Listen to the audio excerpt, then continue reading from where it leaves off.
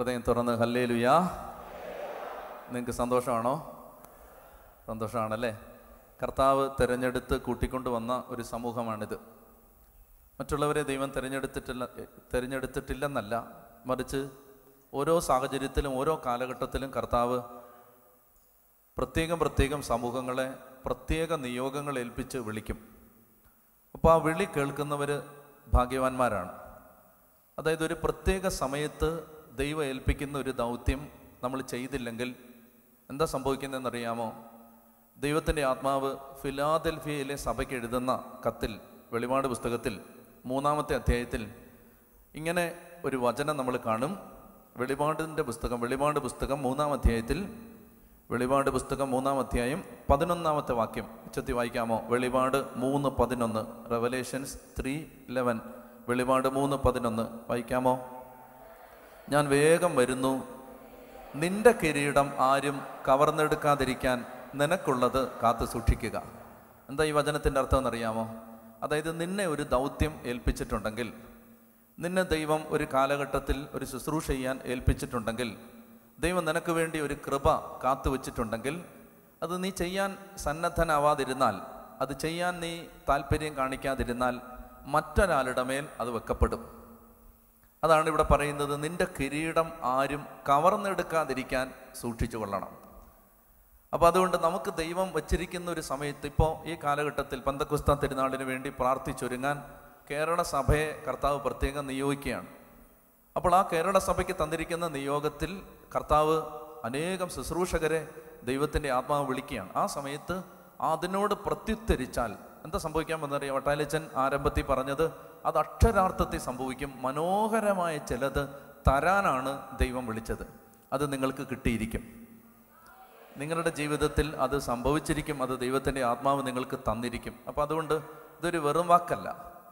മറിച്ച് കർത്താവ് ഒരു കാര്യത്തിന് വേണ്ടി വിളിച്ചാൽ അതിന് പ്രത്യുത്തരം കൊടുത്താൽ ഇതാ ഞാൻ എന്ന് പറഞ്ഞാൽ ദൈവം വാക്ക് പാലിക്കും.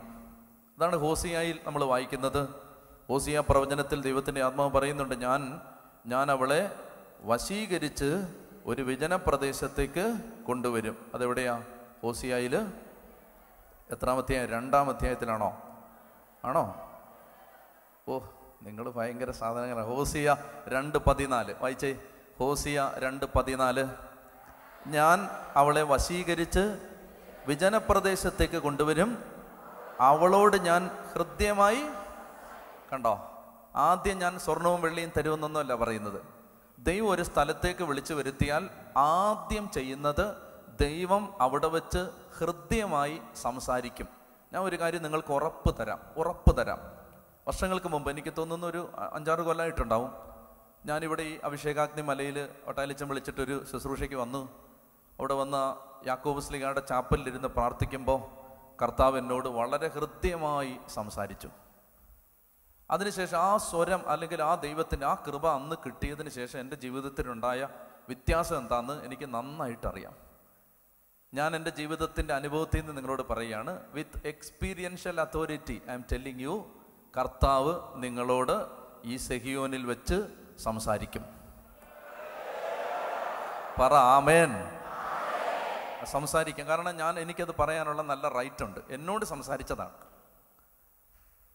കർത്താവെ എന്നോട് സംസാരിക്കണമെന്ന് ആഗ്രഹിച്ച് ഞാൻ ശുശ്രൂഷകരുടെ ധ്യാനം നടത്തിക്കൊണ്ടിരുന്ന സമയത്ത് ആ അഭിഷേകാഗ്നി മലയിലെ ഒരു ചാപ്പലിൽ ഞാൻ ഒറ്റയ്ക്കിരുന്ന് കൊന്തയില്ലിക്കൊണ്ടിരിക്കുമ്പോൾ എന്റെ കർത്താവ് എന്നോട് സംസാരിച്ചതാണ്. അങ്ങനെ ആ സ്വരം കേട്ടതിന് ശേഷം അല്ലെങ്കിൽ ആ സ്വരം ഞാൻ കേട്ടു എന്ന് പറയുമ്പോൾ ഞാൻ എന്റെ കാതുകൊണ്ട് കേട്ടു എന്ന് നിങ്ങൾ ഒരിക്കലും ചിന്തിക്കരുത്. മറിച്ച് എനിക്കൊരു ആത്മീയ പ്രേരണ കിട്ടി ഒരുപാട് പ്രേരണകൾ കിട്ടി. അതിനുശേഷം എന്റെ ജീവിതത്തിൽ ഉണ്ടായ മാറ്റം എന്താണെന്ന് എനിക്ക് നന്നായിട്ടറിയാം. അപ്പോൾ അതുകൊണ്ട് പറയുകയാണ് ഹോസിയ രണ്ട് പതിനാല്. ഉച്ചത്തി വായിച്ച ആ വചനം അഭിഷേകമാണ് ആ വചനം. ഹോസിയ രണ്ട് പതിനാല് അവ ഞാൻ അവളെ വശീകരിച്ച് വിജനപ്രദേശത്തേക്ക് കൊണ്ടുവരും. അവളോട് ഞാൻ ഹൃദ്യമായി സംസാരിക്കും. Do you believe this do you believe that this verse will happen in your particular life do you believe എങ്കിൽ അത് സംഭവിച്ചിരിക്കും. കാരണം ദൈവത്തിന്റെ വചനം ഒരാൾ വിശ്വസിച്ചാൽ അത് സംഭവിച്ചേ പറ്റൂ. സംഭവിക്കാതെ തരമില്ല. അതുകൊണ്ട് നമ്മൾ ഇവിടെ ആയിരിക്കുന്ന സമയത്ത് കർത്താവെ സംസാരിക്കണമേ എന്ന് ആഗ്രഹിക്കണം. ആ സംസാരം ദൈവത്തിന്റെ സ്വരം കേൾക്കുമ്പോഴാണ് നമ്മളിൽ മാറ്റം വരാൻ പോകുന്നത്. ദൈവത്തിന്റെ സ്വരം കേട്ടാലേ ഉദാഹരണത്തിന് ഉദാഹരണത്തിന് എന്റെ ജീവിതത്തിൽ ഒരു പ്രത്യേക കാലത്ത് കർത്താവ് ഒരു നല്ല ബോധ്യം തന്ന. അതായത് അത്ഭുതങ്ങളും അടയാളങ്ങളും കണ്ടതുകൊണ്ട് വിശ്വാസം വർദ്ധിക്കണമെന്നില്ല. എനിക്കത് ഭയങ്കര ഒരു വേദനയായിട്ട് തോന്നി. അത് അങ്ങനെ ഒരു പ്രേരണ എനിക്ക് കിട്ടുമ്പോൾ എനിക്കത് വലിയ വേദനയായിട്ട് തോന്നി. അതായത് അത്ഭുതങ്ങളും അടയാളങ്ങളും കണ്ട കണ്ടതുകൊണ്ട് മാത്രം ജനത്തിന്റെ വിശ്വാസം വർദ്ധിക്കണമെന്നില്ല. എനിക്കത് ഭയങ്കര ഷോക്കിംഗ് ആയിട്ടാണ് തോന്നിയത്. അപ്പം ഞാൻ എന്റെ മനസ്സിൽ ഇങ്ങനെ ആർഗ്യുമെന്റ് നടത്തുകയാണ് ദൈവമേ അത്ഭുതങ്ങൾ കണ്ടാൽ ആളുകൾ ഇപ്പം ശരിക്കും പറഞ്ഞാൽ നിങ്ങളൊന്ന് നോക്കി ഇവിടെ ഒരാൾ മരിച്ച ഒരാൾ എഴുന്നേറ്റെന്ന് വെച്ചോ. മരിച്ചവരെ ഉയർപ്പിക്കുന്ന എത്രയോ ലോകത്തിന്റെ നാനാഭാഗത്തും ദൈവം അത് ചെയ്യുന്നുണ്ട് ഈ കാലഘട്ടത്തിൽ. ഇഷ്ടം പോലെ ചെയ്യുന്നുണ്ട്. അപ്പോൾ ഇവിടെ മരിച്ചു കിടക്കുന്ന ഒരാൾ നിങ്ങളാരും മരിക്കണ്ട. ഞാൻ മരിച്ചെന്ന് വെച്ചോ. ഞാൻ മരിച്ചിട്ട് ഇവിടെ ഇവിടെ ആരെങ്കിലും ഒരു ബ്രദർ വന്ന് പ്രാർത്ഥിച്ച് ഞാനങ്ങ് എഴുന്നേറ്റെന്ന് വെച്ചോ. ഇവിടെ ഇരിക്കുന്ന ആയിരത്തി മുന്നൂറ് പേരുടെയും വിശ്വാസം വർദ്ധിക്കില്ലേ? ഇങ്ങനെയാണ് അത് അതാണ് നോർമൽ ഹ്യൂമൻ ലോജിക്. വിശ്വാസം വർദ്ധിക്കും. അപ്പം ഞാൻ എന്റെ മനസ്സിൽ ഞാൻ കർത്താവിനോട് ഒരു ആർഗ്യുമെന്റിന് നടത്താൻ നമുക്ക് വകുപ്പില്ല. ഞാൻ ചോദിക്കുകയാണ് എന്റെ സംശയം എന്റെ പൊന്ന് കർത്താവേ എന്റെ പൊന്ന് കർത്താവേ അതായത് അത്ഭുതങ്ങൾ കണ്ടാൽ ആളുകളുടെ വിശ്വാസം വർദ്ധിക്കില്ലേ? തീർച്ചയായിട്ടും. പക്ഷെ കർത്താവ് വേറൊരു കാര്യം പറഞ്ഞു തന്നു. ഇസ്രായേൽ എന്ന ജനതയോളം അത്ഭുതങ്ങൾ കണ്ട വേറെ ഏത് ജനതയാണുള്ളത്? അവരെവിടെത്തി നിൽക്കുന്നു? എനിക്കിത് എനിക്ക് എന്റെ it was really shocking I'm telling from the the deepest core of my being അത്രയും സത്യസന്ധമായിട്ട് ഞാൻ പറയുന്നത് ഇറ്റ് വാസ് റിയലി ഷോക്കിംഗ് കർത്താവ് പറയുകയാണ് അത്ഭുതങ്ങളും അടയാളങ്ങളും കണ്ടതുകൊണ്ട് മാത്രം ഒരു ജനത്തിന്റെ വിശ്വാസം വർദ്ധിക്കണമെന്നില്ല. അങ്ങനെ അങ്ങനെ അങ്ങനെ എങ്ങനെ കർത്താവ് അങ്ങനെ പറയാൻ പറ്റുന്നത് എന്ന് എന്ന് നമ്മൾ ഹൃദയത്തിൽ എളിമയോടെ ദൈവത്തോട് ചോദ്യം ചോദിച്ചാൽ കർത്താവ് ഇങ്ങനെ മറുപടി പറയും ഇസ്രായേൽ എന്ന ജനതയോളം അത്ഭുതങ്ങളും അടയാളങ്ങളും കണ്ടത് ആരാ? എന്നിട്ട് ആ ജനത എവിടെ എത്തി അപ്പോൾ പിന്നെ നമ്മൾ തോറ്റു. എങ്കിൽ പറ കർത്താവേ അങ്ങനെയാണെങ്കിൽ എങ്ങനെയാണ് വിശ്വാസം വർദ്ധിക്കുന്നത് റോമർ പത്ത് പതിനേഴ്. റോമാലേഖനം പത്താം അധ്യായം പതിനേഴാം തിരുവചനം. റോമാലേഖനം പത്താം അധ്യായം പതിനേഴാം തിരുവചനം. ഉച്ചത്തി വായിക്കേ. ആകയാൽ വിശ്വാസം faith by hearing faith by ആ അതാണ് സാധനം. വിശ്വാസം കേൾവിയിൽ നിന്ന്. ഡാനിയലച്ചൻ പറഞ്ഞാൽ നിങ്ങൾക്ക് വിശ്വാസം ഉണ്ടാവില്ല. ഡാനിയലച്ചൻ പറഞ്ഞാൽ നിങ്ങൾക്ക് വിശ്വാസം ഉണ്ടാവില്ല. ആര് പറഞ്ഞാലും നിങ്ങളുടെ വിശ്വാസം വർദ്ധിക്കണമെന്നില്ല. പക്ഷെ ജീവിതത്തിൽ ഏതെങ്കിലും ഒരു സൗഭാഗ്യപ്പെട്ട സമയത്ത് ദൈവത്തിന്റെ സ്വരം നിങ്ങൾ കേട്ടാൽ പിന്നെ ജീവനോ മരണത്തിനോ ദൂതന്മാർക്കോ ഇകലോകത്തുള്ളവയ്ക്കോ വരാനുള്ളവയ്ക്കോ ആധിപത്യങ്ങൾക്കോ അധികാരങ്ങൾക്കോ ക്രിസ്തുവിലൂടെയുള്ള ദൈവസ്നേഹത്തിൽ നിന്ന് നിങ്ങളെ മാറ്റാൻ പറ്റില്ലെന്ന് പൗലോസിനെ പോലെ നിങ്ങൾ പറയും once at least once if you are lucky enough to be hearing the voice of the Lord Lord mighty your life will radically change. An absolute change will happen unto your fragile, fragile human life. You will change. മാറ്റം വരും വിശ്വാസം ഞാൻ ആലോചിച്ചിട്ടുണ്ട് ദൈവമേ Abraham എഴുപതാമത്തെ വയസ്സിൽ വീട് വിട്ടിറങ്ങിയ മനുഷ്യൻ കൽദായരുടെ ഊർ ദേശത്ത് ഇന്നത്തെ ഇറാഖിൽ നിന്ന് ബാബിലോണിൽ നിന്ന് വീട് വിട്ടിറങ്ങുമ്പോൾ സുഖ സൗഭാഗ്യങ്ങളുടെ മടിത്തട്ടിൽ ജീവിച്ചിരുന്ന മനുഷ്യനാണ് അദ്ദേഹത്തിന്റെ പഴയകാല ചരിത്രം മറ്റ് രേഖകൾ പറയുന്ന ചില രേഖകൾ ഞാൻ വായിച്ചിട്ടുണ്ട് സമ്പന്ന കുടുംബത്തിൽ ജനിച്ച വിഗ്രഹ നിർമ്മാണം കുലത്തൊഴിലായിരുന്ന വളരെ മോടി പിടിപ്പിച്ച വീടുണ്ടായിരുന്ന എല്ലാ തരത്തിലും എല്ലാ അർത്ഥത്തിലും ലോകം വെച്ച് നീട്ടിയ സുഖ സൗകര്യങ്ങളുടെ മടിത്തട്ടിൽ ജീവിച്ചിരുന്ന ഒരു എഴുപതുകാരനെ ഏതോ ഒരു സ്വകാര്യമായ ഇടനേരത്ത് ദൈവം വിളിച്ചിട്ട് ദൈവം പറയുകയാണ് അബ്രാം ദേശത്തെയും പിതൃഭവനത്തെയും ബന്ധുക്കളെയും ഉപേക്ഷിച്ച് ഞാൻ കാണിച്ചു തരുന്ന ദേശത്തേക്ക് പോകണം എന്ന് പറയുമ്പോൾ ഒരക്ഷരം പോലും തിരിച്ചു പറയാതെ പടിയിറങ്ങാൻ ഒരു എഴുപതുകാരന് പറ്റിയത് എന്തുണ്ടെന്ന് നിങ്ങൾക്ക് അറിയാമോ എന്തുകൊണ്ടെന്നറിയാമോ എസ് ഐ അമ്പത്തൊന്നിൽ എസ് ഐ അമ്പത്തൊന്നിൽ. വായിക്കാമോ എസ് ഐ അമ്പത്തൊന്നിൽ? ദൈവത്തെ അന്വേഷിക്കുന്നവരെ രക്ഷ തേടുന്ന എസ് ഐ അമ്പത്തൊന്ന് ഒന്ന് മുതൽ. വായിച്ചേ. കർത്താവിനെ അന്വേഷിക്കുന്നവരെ രക്ഷ തേടുന്നവരെ എന്റെ വാക്ക് കേൾക്കുവിൻ. നിങ്ങളെ വെട്ടിയെടുത്ത പാറയിലേക്കും നിങ്ങളെ കുഴിച്ചെടുത്ത കനി കനിഗർഭത്തിലേക്കും നോക്കുവിൻ. നിങ്ങളുടെ പിതാവായ അബ്രാഹത്തെയും നിങ്ങളെ വഹിച്ച സാറായി നോക്കുവിൻ. അബ്രാഹം ഏകനായിരിക്കെ ഞാൻ അവനെ വിളിച്ചു. ഓ ആ വാക്കാണത്. എന്തോ ഒരു പവറാണതിന്. അബ്രാഹം ഏകനായിരിക്കെ എന്ന് പറഞ്ഞാൽ എന്തെന്നറിയാമോ? ശുശ്രൂഷ ജീവിതത്തിൽ ഇന്ന് എനിക്കൊരു ക്രൈസിസ് വന്നാൽ എനിക്ക് നോക്കാൻ ഒരു വട്ടായിലച്ഛനുണ്ട് ഒരു ഡൊമിനിക് അച്ഛനുണ്ട് ഒരു ബിനോയ് അച്ഛനുണ്ട്. അച്ഛാ അച്ഛാ എനിക്കൊരു ആത്മീയ പ്രശ്നമുണ്ടെന്ന് പറഞ്ഞാൽ ദൈവം എന്നോട് ഇങ്ങനെ ആവശ്യപ്പെടുന്നു ഞാൻ എന്ത് ചെയ്യണമെന്ന് പറഞ്ഞാൽ അല്ലെങ്കിൽ എന്റെ ജീവിതത്തിൽ ഇങ്ങനെ ഒരു അനുഭവം ഉണ്ടായി ഇത് ശരിയാണോ തെറ്റാണോ എനിക്കൊരു ഡിസൈൻമെന്റ് വേണം. ചോദിക്കാൻ എന്റെ മുമ്പിൽ മാതൃകകളായി മനുഷ്യർ നിൽപ്പുണ്ട്. അബ്രാഹത്തിന് അങ്ങനെ ആരും ഉണ്ടായിരുന്നില്ല അതാണ് ഏകനായിരിക്കെ.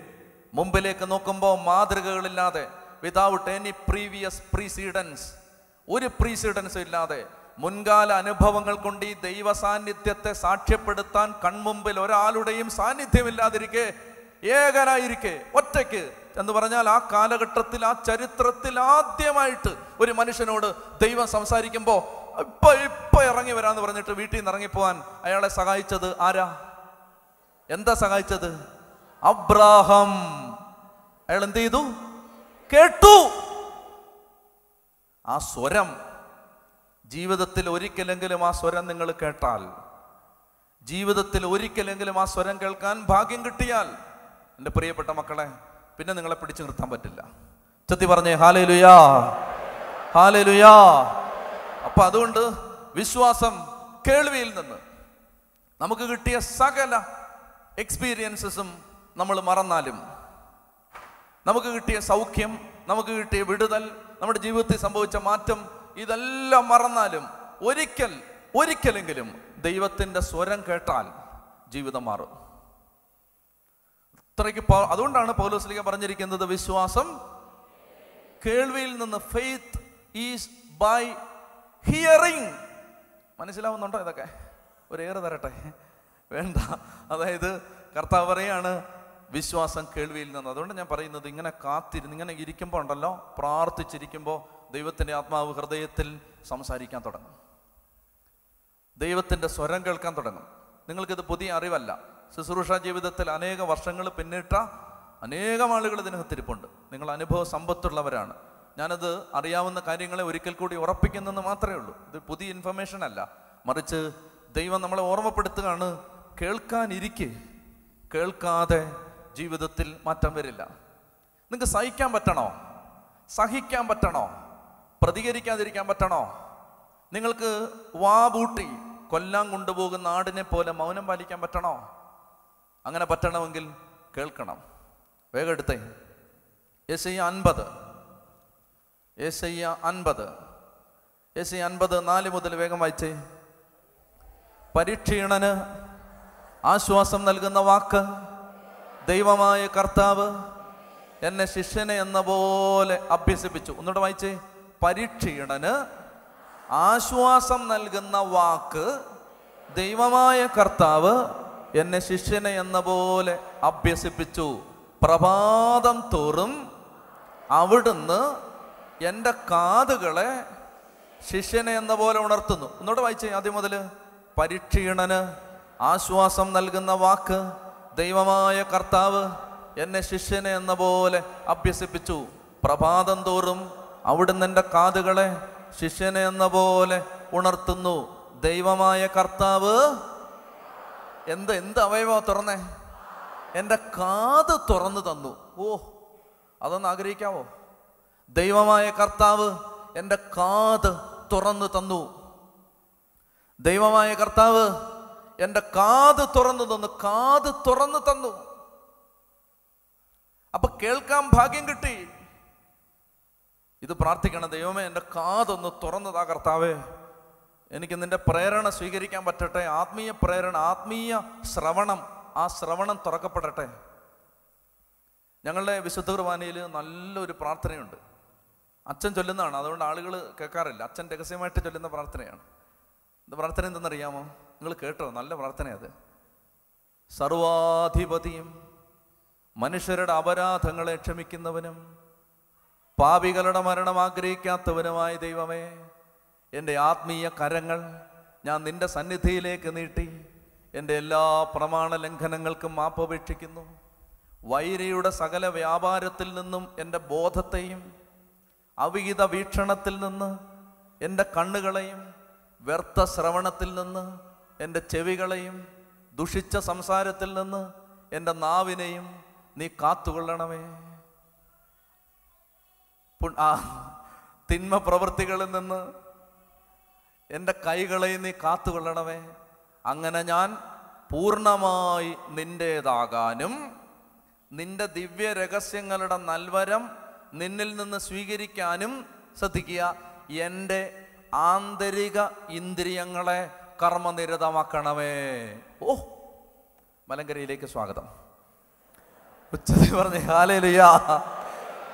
അതായത് എന്തോ ഒരു പ്രാർത്ഥനയാണെന്നറിയാം പ്രാർത്ഥന എന്തെന്നറിയാം സർവാധിപതിയും മനുഷ്യരുടെ അപരാധങ്ങളെ ക്ഷമിക്കുന്നവനും പാപികളുടെ മരണം ആഗ്രഹിക്കാത്തവനുമായ എന്റെ ദൈവമേ എന്റെ ആത്മീയ കരങ്ങൾ എന്റെ ആന്തരിക കരങ്ങൾ നിന്റെ സന്നിധിയിലേക്ക് നീട്ടി എന്റെ എല്ലാ പ്രമാണ ലംഘനങ്ങൾക്കും ഞാൻ മാപ്പപേക്ഷിക്കുക എന്നിട്ട് പറയുകയാണ് വൈരിയുടെ പിശാജിന്റെ വൈരിയുടെ സകല വ്യാപാരത്തിൽ നിന്നും എന്റെ ബോധത്തെയും.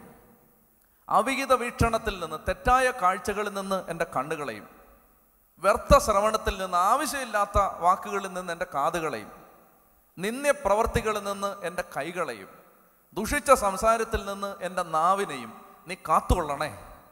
അടുത്തതാണ് പ്രധാനപ്പെട്ടത്. അങ്ങനെ ഞാൻ പൂർണമായി നിന്റേതാകാനും നിന്റെ ദിവ്യ രഹസ്യങ്ങളുടെ വിശിഷ്ടമായ നിന്റെ രഹസ്യങ്ങളുടെ നൽവരം ആ കൃപ നിന്നിൽ നിന്ന് സ്വീകരിക്കാനും എന്റെ ആന്തരിക ഇന്ദ്രിയങ്ങളെ കർമ്മനിരതമാക്കണമേ.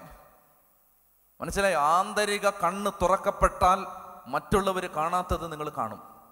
ആന്തരിക ശ്രവണം തുറക്കപ്പെട്ടാൽ മറ്റുള്ളവർ കേൾക്കാത്തത് നിങ്ങൾ കേൾക്കും.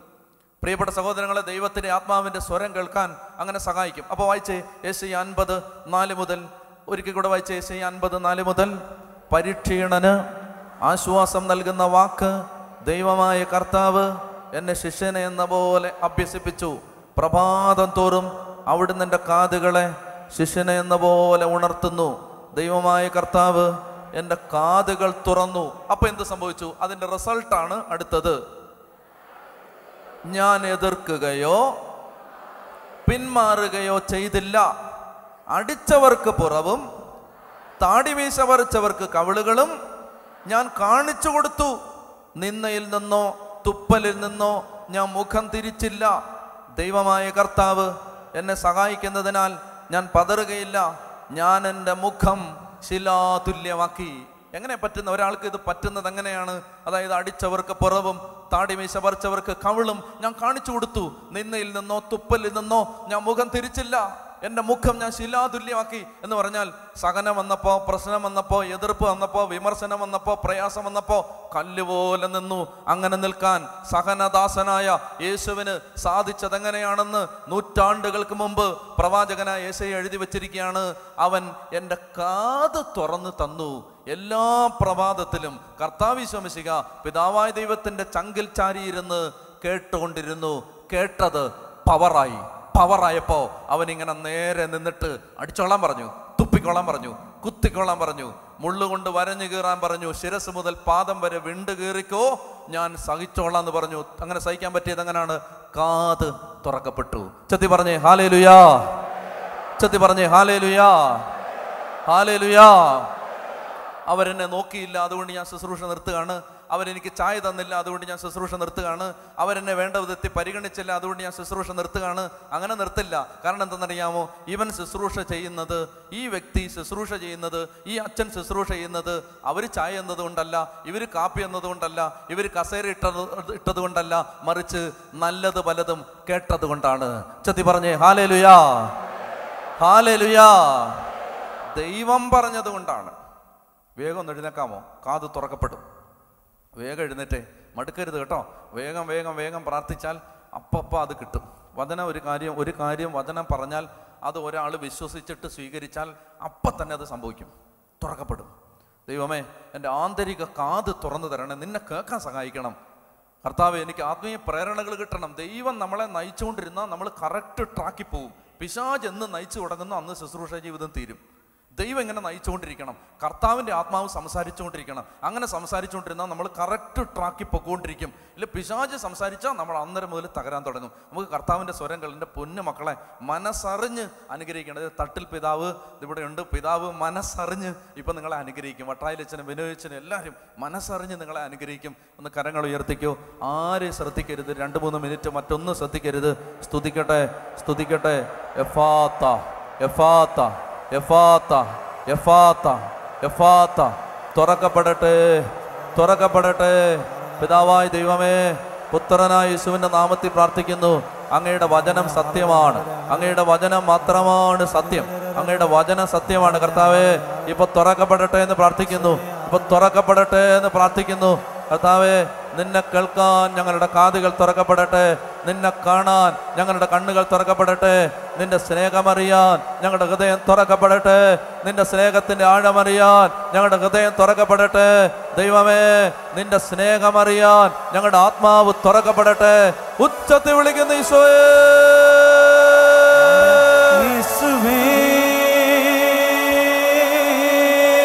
ഉച്ചത്തിൽ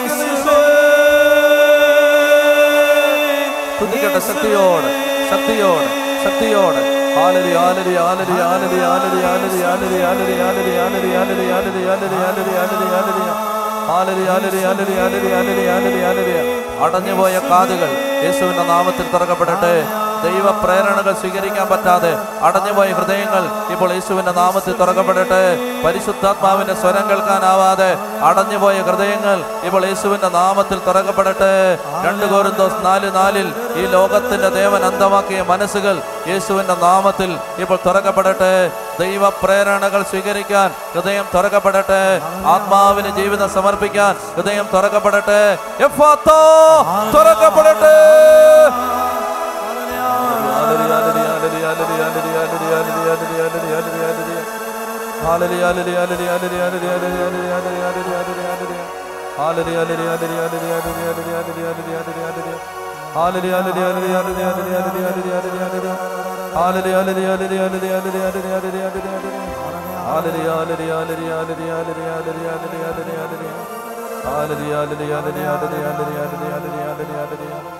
Hallelujah, hallelujah, hallelujah.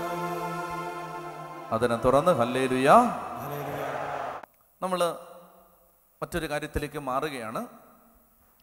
അങ്ങനെ ദൈവത്തിന്റെ സ്വരം കേൾക്കുമ്പോൾ കർത്താവിന്റെ സ്വരം അനുസരിക്കുമ്പോൾ നമ്മൾ ഈ കാലഘട്ടത്തിൽ ആഗ്രഹിച്ച് പ്രാർത്ഥിക്കുന്നത് ആത്മാവിന്റെ വലിയൊരു തീ ഇറങ്ങി നമ്മളെ മൂടണം. പരിശുദ്ധാത്മാവിന്റെ അഗ്നിയിൽ നമ്മളെല്ലാവരും ജ്വലിക്കണം. തിരുസഭ കടന്നു പോകുന്ന അനേകം ഞെരുക്കങ്ങളുണ്ട്. സഭ വേദനിച്ചുകൊണ്ടിരിക്കുകയാണ് പല തരത്തിൽ തിരുസഭാ ശരീരം നുറുങ്ങി വേദനിക്കുന്ന സമയത്ത് എന്താണ് അതിന്റെ പരിഹാരം? അതിന്റെ പരിഹാരം ഇതാണ് പരിശുദ്ധാത്മാവിന്റെ കയ്യിലേക്ക് സഭയെ ഏൽപ്പിച്ചു കൊടുക്കുക. പരിശുദ്ധാത്മാവിന്റെ നിയന്ത്രണത്തിന് സഭയെ ഏൽപ്പിച്ചു കൊടുക്കുക എന്ന് പറഞ്ഞാൽ അതിന്റെ അർത്ഥം എന്താ? പരിശുദ്ധാത്മാവിന്റെ നിയന്ത്രണത്തിന് ഓരോ സഭാവിശ്വാസിയും തന്റെ ജീവിതത്തെ വിട്ടുകൊടുക്കുക അപ്പോൾ ഒരു അച്ഛൻ എന്ന നിലയിൽ ഞാൻ ആത്മാവിന് എന്റെ ജീവിതത്തെ വിട്ടുകൊടുക്കുക ഒരു സിസ്റ്റർ ആത്മാവിന് ജീവിതത്തെ അങ്ങ് തുറന്നു കൊടുക്കുക. ഒരു അൽമായ ശുശ്രൂഷകൻ ദൈവാത്മാവിന് തന്റെ ജീവിതത്തെ വിട്ടുകൊടുക്കുക. അപ്പോൾ ഇതാണ് നമ്മൾ ഉദ്ദേശിക്കുന്നത് ദൈവത്തിന്റെ ആത്മാവ് സഭയെ നയിക്കുക എന്ന് പറഞ്ഞാൽ നമ്മൾ ചിന്തിക്കരുത് ദൈവത്തിന്റെ ആത്മാവ് പിതാക്കന്മാരെ നയിക്കാൻ വേണ്ടി നമ്മൾ പ്രാർത്ഥിക്കുകയാണ്. അങ്ങനെയല്ല. എല്ലാ പിതാക്കന്മാരെയും പരിശുദ്ധാത്മാവ് ശക്തമായിട്ട് നയിക്കട്ടെ എന്ന് പറഞ്ഞിട്ട് നമ്മൾ ഒരു അങ്ങനെയല്ലത് നമ്മൾ പരിശുദ്ധാത്മാവിന്റെ നിയന്ത്രണത്തിന് സഭയിലെ ഓരോ വിശ്വാസിയെയും സമർപ്പിക്കുകയാണ്. ദൈവത്തിന്റെ ആത്മാവ് സഭയുടെ നിയന്ത്രണം ഏറ്റെടുക്കണേ. ഇത് പ്രാർത്ഥിക്കുകയാണ്. എന്ന് പറഞ്ഞാൽ എവിടെയെങ്കിലും സമർപ്പിക്കപ്പെടാത്ത മേഖലകൾ ഉണ്ടെങ്കിൽ അവിടെ എല്ലാം പരിശുദ്ധാത്മാവിന് വേണ്ടി തുറക്കപ്പെടാൻ വേണ്ടി ആഗ്രഹിച്ച് പ്രാർത്ഥിക്കുന്ന ഒരു നിയോഗമാണ് നമുക്ക് ഈ പന്തക്കുസ്തായിക്കുള്ളത്. അതുകൊണ്ട് ഈ പ്രഭാതത്തിൽ നമ്മൾ തുടർന്ന് ചിന്തിക്കാൻ പോകുന്നത് ഈ ശരിക്കും ഈ തീ എന്താണെന്ന് നമ്മൾ ചിന്തിക്കണം. പിശാചിന്റെ ഒരു തന്ത്രം എന്തെന്ന് വെച്ചാൽ എവിടെ ഒറിജിനൽ ഉണ്ടോ പിശാജ് അതിനെ ഡ്യൂപ്ലിക്കേറ്റ് ചെയ്യും. അത് ആദ്യം മുതലെയുള്ള പിശാജിന്റെ ഒരു തന്ത്രമാണ്. അതായത് പിശാജ് രക്ഷാകര ചരിത്രത്തിൽ ഡ്യൂപ്ലിക്കേറ്റുകൾ ഉണ്ടാക്കും. ഇത് ഒറിജിനലിനെ വെല്ലുന്ന വ്യാജൻ ഉണ്ടാക്കും. അതാണ് പിശാജിന്റെ ഒരു തന്ത്രം. ഇത് നമ്മൾ അറിഞ്ഞിരിക്കാൻ വേണ്ടി ഞാൻ പറയുന്നതാണ്. അതായത് ഈ അഭിഷേകത്തിന് ഡ്യൂപ്ലിക്കേറ്റ് ഉണ്ട്. അനോയിന്റിങ്ങിന് ഡ്യൂപ്ലിക്കേറ്റ് ഉണ്ട്. എല്ലാ അനോയിന്റിങ്ങിനും ഡ്യൂപ്ലിക്കേറ്റ് ഉണ്ട്. ചിലപ്പോൾ ഒറിജിനലിനെ വെല്ലുന്ന ഡ്യൂപ്ലിക്കേറ്റ് മാർക്കറ്റിൽ ലഭ്യമായിരിക്കും. അതുകൊണ്ട് ശ്രദ്ധിക്കേണ്ടത് ശരിക്കും മനസ്സിലാക്കിയാൽ നമുക്കത് ഒത്തിരി ആത്മീയ ശക്തി തരും. ശരിക്കുള്ള അഗ്നിക്ക് വേണ്ടി പ്രാർത്ഥിക്കാൻ പറ്റും. അപ്പം അതുകൊണ്ട് നമ്മളിൽ പരിശുദ്ധാത്മാവിന്റെ അഗ്നിയാണ് പ്രവർത്തിക്കേണ്ടത്. ഒരു മനുഷ്യൻ തരുന്ന അഗ്നിയല്ല നമ്മളിൽ പ്രവർത്തിക്കേണ്ടത്. ദൈവത്തിന്റെ ആത്മാവിന്റെ അഗ്നിയാണ് നമ്മളിൽ പ്രവർത്തിക്കേണ്ടത്. ഇപ്പോൾ പിശാജ് പല കാര്യത്തെയും ഡ്യൂപ്ലിക്കേറ്റ് ചെയ്യും. ഉദാഹരണത്തിന് അങ്ങ് പഴയ പഴയ ചരിത്രത്തിലേക്ക് പോയാൽ ബൈബിൾ എടുക്കണ്ട നിങ്ങൾ കേട്ടാൽ മതി. ഈ ബാബിലോൺ സാമ്രാജ്യം തുടങ്ങുന്നത് ബൈബിളിൽ ഉൽപ്പത്തി പുസ്തകത്തിൽ ഹാമിന്റെ വംശപരമ്പരയിൽപ്പെട്ട ഒരു നായാട്ട് വീരനായ രാജാവിനെ കുറിച്ച് പറയുന്നുണ്ട്. അയാളുടെ പേരാണ് നിംരോദ് എന്താണ് അയാളുടെ പേര്? നിംരോദ് ഈ നിംരോദ് എന്ന് പറയും ഉൽപ്പത്തി ഒൻപതിൽ നമ്മൾ കാണുന്ന ഒരു കഥാപാത്രമാണത്. അതായത് ഈ നിമ്രോദ് അയാളെക്കുറിച്ച് പറയുന്നത് ദൈവത്തിന് എതിരെ അയാൾ ഒരു നായാട്ട് വീരനായിരുന്നു. ദൈവത്തിന്റെ മുമ്പിൽ അവനൊരു പത്താം അധ്യായം ഉൽപ്പത്തി പത്തിലാണ് നമ്മൾ കാണുന്നത്. വായിക്കണമെന്നില്ല ഞാൻ ആ റെഫറൻസ് പറഞ്ഞു നിങ്ങൾ എന്നെ നോക്കും. അപ്പോൾ ഈ നിമ്രോദ് എന്ന് പറയുന്ന ഇദ്ദേഹം ഇദ്ദേഹത്തിൽ നിന്നാണ് പുരാതന ബാബിലോൺ ആരംഭിച്ചതെന്നാണ് പറയപ്പെടുന്നത്. നിമ്രോദ്. ഇതൊന്ന് ശ്രദ്ധിക്കാവോ? ഈ നിമ്രോദിന്റെ ഭാര്യ നിമ്രോദ് മരിച്ചതിന് ശേഷം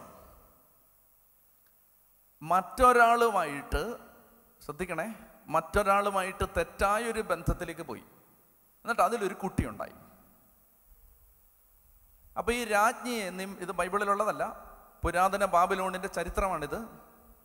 അപ്പോൾ നിമ്രോദിന്റെ ഭാര്യ നിമ്രോദിന്റെ മരണത്തിന് ശേഷം അതായത് ദേവതുല്യമായിട്ടാണ് ഈ നിമ്രോദിനെ ആളുകൾ കാണുന്നത്.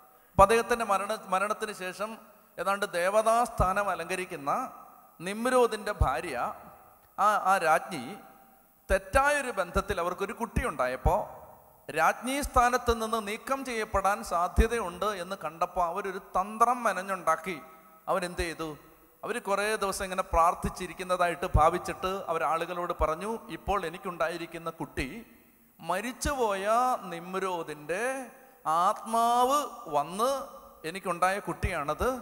അതുകൊണ്ട് നിങ്ങൾ ആ കുട്ടിയെ ആരാധിക്കണം എന്ന് പറഞ്ഞിട്ട് ഈ നിമ്രോത് മരിച്ചതിന് ശേഷം ആത്മാവ് വന്ന് അങ്ങനെ ഉണ്ടായ കുട്ടിയാണെന്ന് അങ്ങനെ ഒരു കഥയൊക്കെ ഇവർ മനഞ്ഞുണ്ടാക്കിയിട്ട് ആളുകളെയെല്ലാം ഇത് വിശ്വസിപ്പിച്ചിട്ട് പുരാതന ബാബിലോണിൽ രാജാവ് രാജ്ഞി കുഞ്ഞ്. രാജാവ് രാജ്ഞി നിമ്രോത് അദ്ദേഹത്തിന്റെ ഭാര്യ അദ്ദേഹത്തിന്റെ കുട്ടി. അങ്ങനെ ഈ കുടുംബത്തെ ആരാധിക്കുന്ന ഒരു പ്രാർത്ഥനാ രീതി ആ പുരാതന ബാബിലോണിൽ ഉണ്ടായിരുന്നു. ഇത് തിരുക്കുടുംബത്തിന്റെ ഡ്യൂപ്ലിക്കേറ്റ് ആണ് മനസ്സിലാവുന്നുണ്ടോ? തിരുക്കുടുംബത്തിന്റെ ഡ്യൂപ്ലിക്കേറ്റ് ആണിത് നിങ്ങൾക്ക് പിടി കിട്ടുന്നുണ്ടോ? ഇങ്ങനെ എല്ലാത്തിനെയും പിശാച് ഡ്യൂപ്ലിക്കേറ്റ് ചെയ്തിട്ടുണ്ട്. എല്ലാത്തിനെയും. അപ്പൊ അതുകൊണ്ട് നമ്മൾ ശ്രദ്ധിക്കേണ്ടത് എന്തറിയാമോ പരിശുദ്ധാത്മ അഭിഷേകത്തിനും ഡ്യൂപ്ലിക്കേറ്റ് ഉണ്ടാക്കിയിട്ടുണ്ട്. അതുകൊണ്ട് ഒറിജിനൽ ഫയർ അതറിയണം. ഒറിജിനൽ ഫയർ നമുക്ക് വേണ്ടത് ഡ്യൂപ്ലിക്കേറ്റ് തീ അല്ല. നമുക്ക് വേണ്ടത് ഒരു ഇമോഷണൽ ഇന്റൻസിറ്റി അല്ല. We have to be very specific about it spiritual emotionalism അല്ല സ്പിരിച്വാലിറ്റി ഇമോഷണലിസം അല്ല സ്പിരിച്വാലിറ്റി എന്ന് പറഞ്ഞാൽ നമുക്ക് ഭയങ്കര ഒരു ഇമോഷണൽ ഇന്റൻസിറ്റി അത് തെറ്റല്ല. പക്ഷേ അതല്ല സ്പിരിച്വാലിറ്റി ഇമോഷൻസ് അഞ്ച് ദിവസം കഴിയുമ്പോൾ തീരും. സ്പിരിച്വാലിറ്റി മരണം വരെ കിടക്കും. ചെത്തി പറഞ്ഞേ ഹാലേ ലുയാ നിങ്ങൾക്ക് വേണ്ടത് എന്താണ്?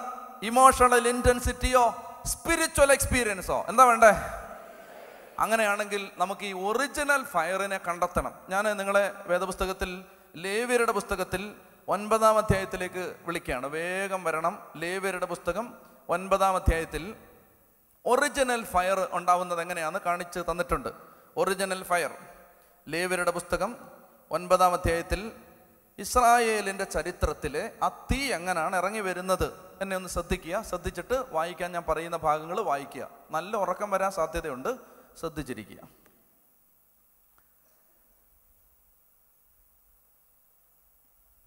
ലേവരുടെ പുസ്തകം ഒൻപതാം അധ്യായത്തിൽ നമ്മൾ കാണുന്നത് ഇങ്ങോട്ട് നോക്കിയോ അഞ്ച് ബലികൾ അർപ്പിക്കാൻ ദൈവം ആവശ്യപ്പെട്ടിരുന്നു. ഏതൊക്കെയാണ്? ദഹനബലി ധാന്യബലി സമാധാന ബലി പാപപരിഹാര ബലി പ്രായച്ചിത്ത ബലി ഇസ്രായേൽ ജനത്തോട് ദൈവം പറഞ്ഞിരുന്നത് അഞ്ച് ബലികൾ അർപ്പിക്കണം. ഇങ്ങനെ അഹറോൻ മോശയുടെ നിർദ്ദേശമനുസരിച്ച് സമാഗമ കൂടാരത്തിന്റെ നിർമ്മാണം എല്ലാം കഴിഞ്ഞ് സമാഗമ കൂടാരത്തിലെ ബലിപീഠത്തിൽ ബലിപീഠത്തിൽ മോശ തീ കത്തിച്ച് മോശ തീ കത്തിച്ച് ഈ ബലിയെല്ലാം അർപ്പിച്ചു. അർപ്പിച്ചു കഴിഞ്ഞപ്പോൾ അപ്പോൾ അത് മനുഷ്യൻ കൊളുത്തിയ തീയാണ് മനുഷ്യൻ കൊളുത്തിയ തീയാണ്. അപ്പോൾ ദൈവം പറഞ്ഞതുപോലെ മോശ സോറി മോശയും അഹറൂനും എല്ലാ കാര്യങ്ങളും ചെയ്ത് ബലിപീഠമെല്ലാം തയ്യാറാക്കി. എന്നെ ഇങ്ങോട്ട് നോക്കിയോ നിങ്ങൾ ശ്രദ്ധിച്ചിരുന്നു?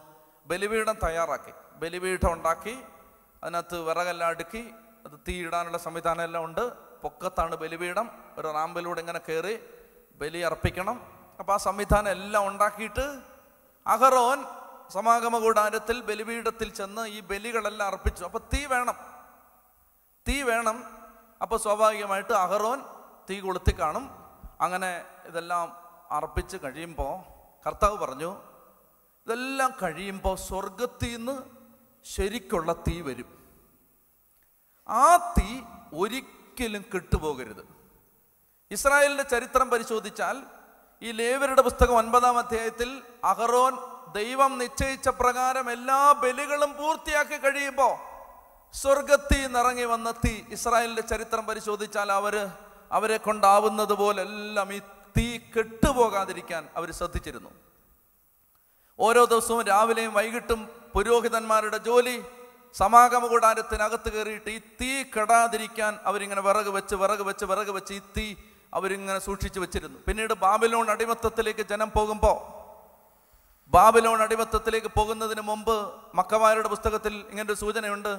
ജെറമിയായുടെ നേതൃത്വത്തിൽ കുറച്ച് പുരോഹിതന്മാര് ബലിപീഠത്തിലെ തീയെടുത്ത് ഏതോ ഒരു ഗുഹയെ കൊണ്ടുവന്ന് ഒളിച്ചു വെച്ചു. ശ്രദ്ധിച്ചിരിക്കണേ? അതായത് അഹറോൻ ബലിവസ്തുക്കളെല്ലാം തയ്യാറാക്കി വെച്ച് കഴിഞ്ഞപ്പോൾ സ്വർഗത്തിൽ നിറങ്ങി വന്ന ഒറിജിനൽ ഫയർ ഇനി ഒന്ന് വായിച്ചേ. ലേവരുടെ പുസ്തകം ഒൻപതാം അധ്യായം ഇരുപത്തിരണ്ട് മുതൽ ഉച്ചത്തി വായിക്കും ലേവരുടെ പുസ്തകം ഒൻപതാം അധ്യായം ഇരുപത്തിരണ്ട് മുതൽ. അഹറോൻ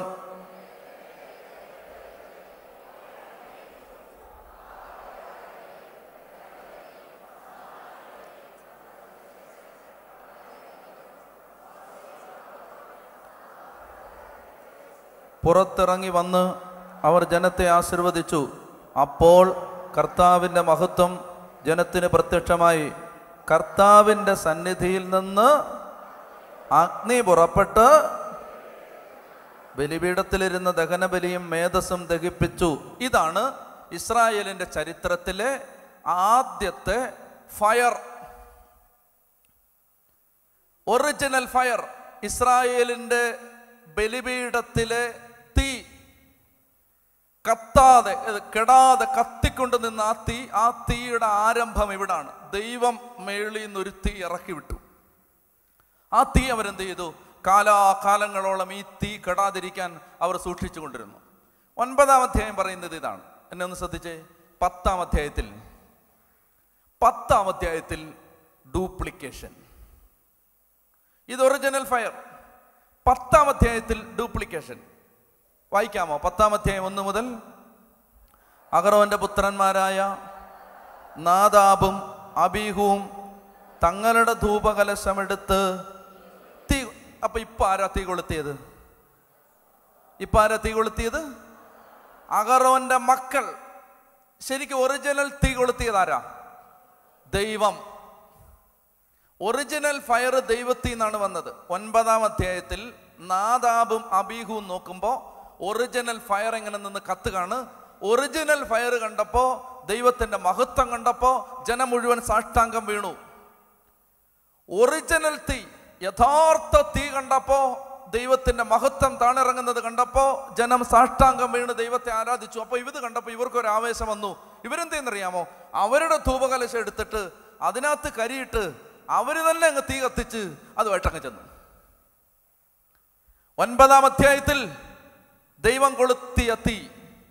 ഉറങ്ങുന്ന എന്റെ ചേട്ടാ. ഒമ്പതാം അധ്യായത്തിൽ ദൈവം കൊളുത്തിയ തീ. പത്താം അധ്യായത്തിൽ മനുഷ്യൻ കൊളുത്തിയ തീ. ഒൻപതാം അധ്യായത്തിൽ ഒറിജിനൽ ഫയർ പത്താം അധ്യായത്തിൽ ഡ്യൂപ്ലിക്കേറ്റ് ഫയർ ഇത് നമ്മൾ ശ്രദ്ധിക്കേണ്ട സംഗതിയാണ്.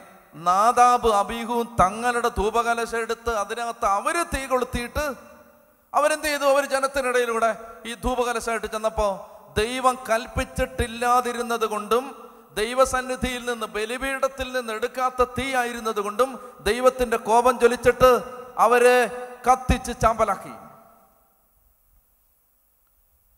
എന്റെ പ്രിയപ്പെട്ട സഹോദരങ്ങൾ ഈ പ്രഭാതത്തിൽ കേൾക്കാൻ ചെവിയുള്ളവർ കേൾക്കട്ടെ? തീ ദൈവം കൊളുത്തിയതല്ലെങ്കിൽ അത് അപകടമാണ്. ദൈവം കൊളുത്താത്ത തീ വളരെ ഡേഞ്ചറസ് ആണ്. ഇപ്പൊ നമ്മളത് അറിയില്ല. അതായത് അവരെന്ത് ചെയ്തു? അഹറോൻ ബലിയർപ്പിച്ചു ബലിപീഠം തയ്യാറാക്കി ബലിവസ്തുക്കളെ വെച്ചു. അഹറോൻ ഇത് ചെയ്തു. അപ്പൊ ദേ തീ ഇറങ്ങി വന്നു. അപ്പൊ ഇവരെന്ത് ചെയ്തു? എന്നാ പിന്നെ നമുക്കും ദേ അഹറോൻ അങ്ങനെ ചെയ്യുന്നു. നമ്മളാരാ? നമ്മൾ അഹറോന്റെ മക്കളല്ലേ? നമുക്കും നമുക്ക് ഇപ്പൊ തീ കത്തിച്ചകളാണെന്ന് പറഞ്ഞിട്ട് അവർ തീ കത്തിക്കാൻ തുടങ്ങി. If the fire is not original you are in danger so we need an original fire original anointing ആരെങ്കിലും മനുഷ്യർ കൊളുത്തിയ തീ അല്ല നമുക്ക് വേണ്ടത്. ദൈവം കൊളുത്തിയ തീ വേണം. വേണോ? ചത്തി പറ ഹാലേലുയാ. ദൈവം കൊളുത്തിയ തീയാണ്. അതല്ല മനുഷ്യൻ കൊളുത്തിയ തീയല്ല വേണ്ടത്. ആരെങ്കിലും എന്തെങ്കിലും ചെയ്യുന്ന കണ്ടു എന്നാ പിന്നെ ഞാനും ചെയ്തു കളയാം. നോ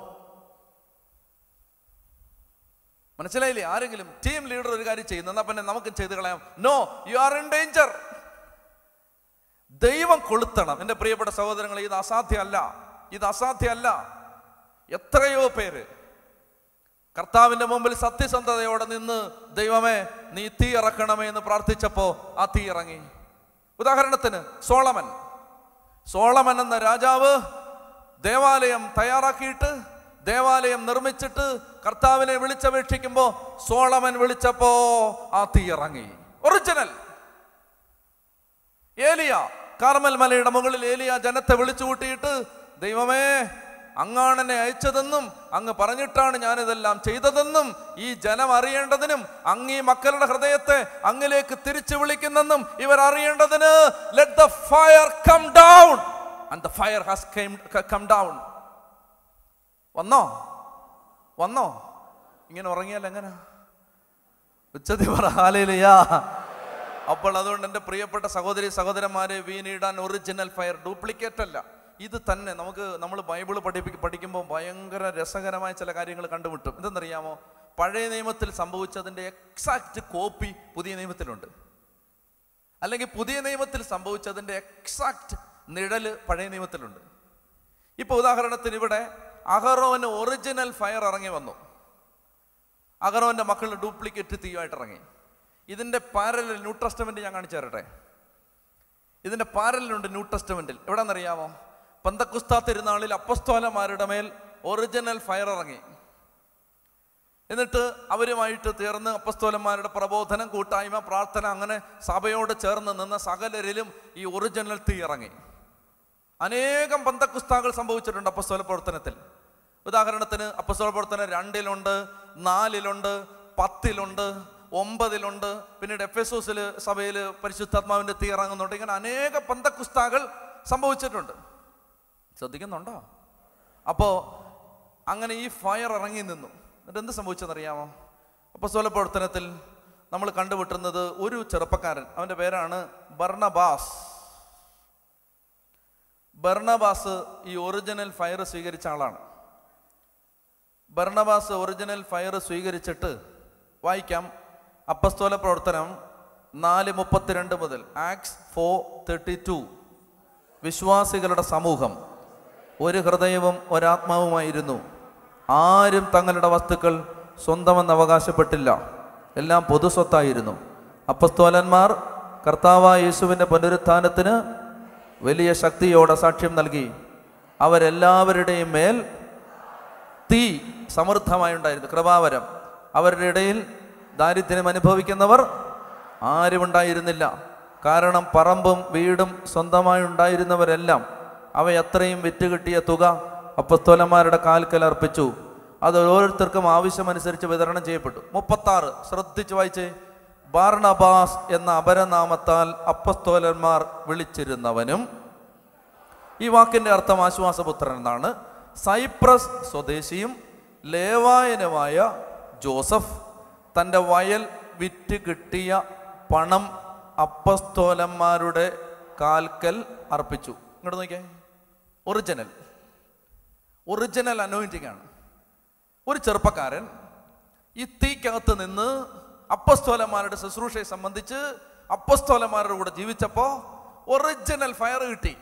ഫയർ കിട്ടിയപ്പോൾ സൈപ്രസുകാരൻ ലേവായൻ അവന്റെ പേരിന്റെ അർത്ഥം ആശ്വാസത്തിന്റെ പുത്രൻ അപ്പസ്തോലന്മാർക്ക് വളരെ ഇഷ്ടപ്പെട്ട ഒരു ചെറുപ്പക്കാരൻ അവൻ എന്ത് ചെയ്തു ആ ഒറിജിനൽ ഫയറിൽ നിന്ന് ഇങ്ങോട്ട് നോക്കണേ. ഒറിജിനൽ ഫയറിൽ നിന്ന് ആ ദൈവത്തിന്റെ ആത്മാവ് യഥാർത്ഥമായിട്ട് കൊടുത്തൊരു തീയിൽ നിന്ന് അവൻ പോയി അവന്റെ വീട് വിറ്റ് വയൽ വിറ്റ് എല്ലാം കൊണ്ടുവന്ന് അപ്പസ്തോലന്മാരുടെ കാൽക്കൽ സമർപ്പിച്ചു. Hundred percent commitment out of original fire original ഫയറിൽ നിന്നുണ്ടായ ഒരു സമർപ്പണം. ആണല്ലോ? അപ്പൊ ഇത് കണ്ടിട്ട് നാട്ടി മുഴുവൻ സംസാരമായി നോക്കണേ ആ ചെറുക്കൻ ആര്? ഭർണബാസ് ഏത്? ആ ലേവായൻ. മനസ്സിലായില്ലല്ലോ? മറ്റേ ആശ്വാസത്തിന്റെ പുത്രൻ. ആര്? സൈപ്രസുകാരൻ ആ അവൻ? അവനെ.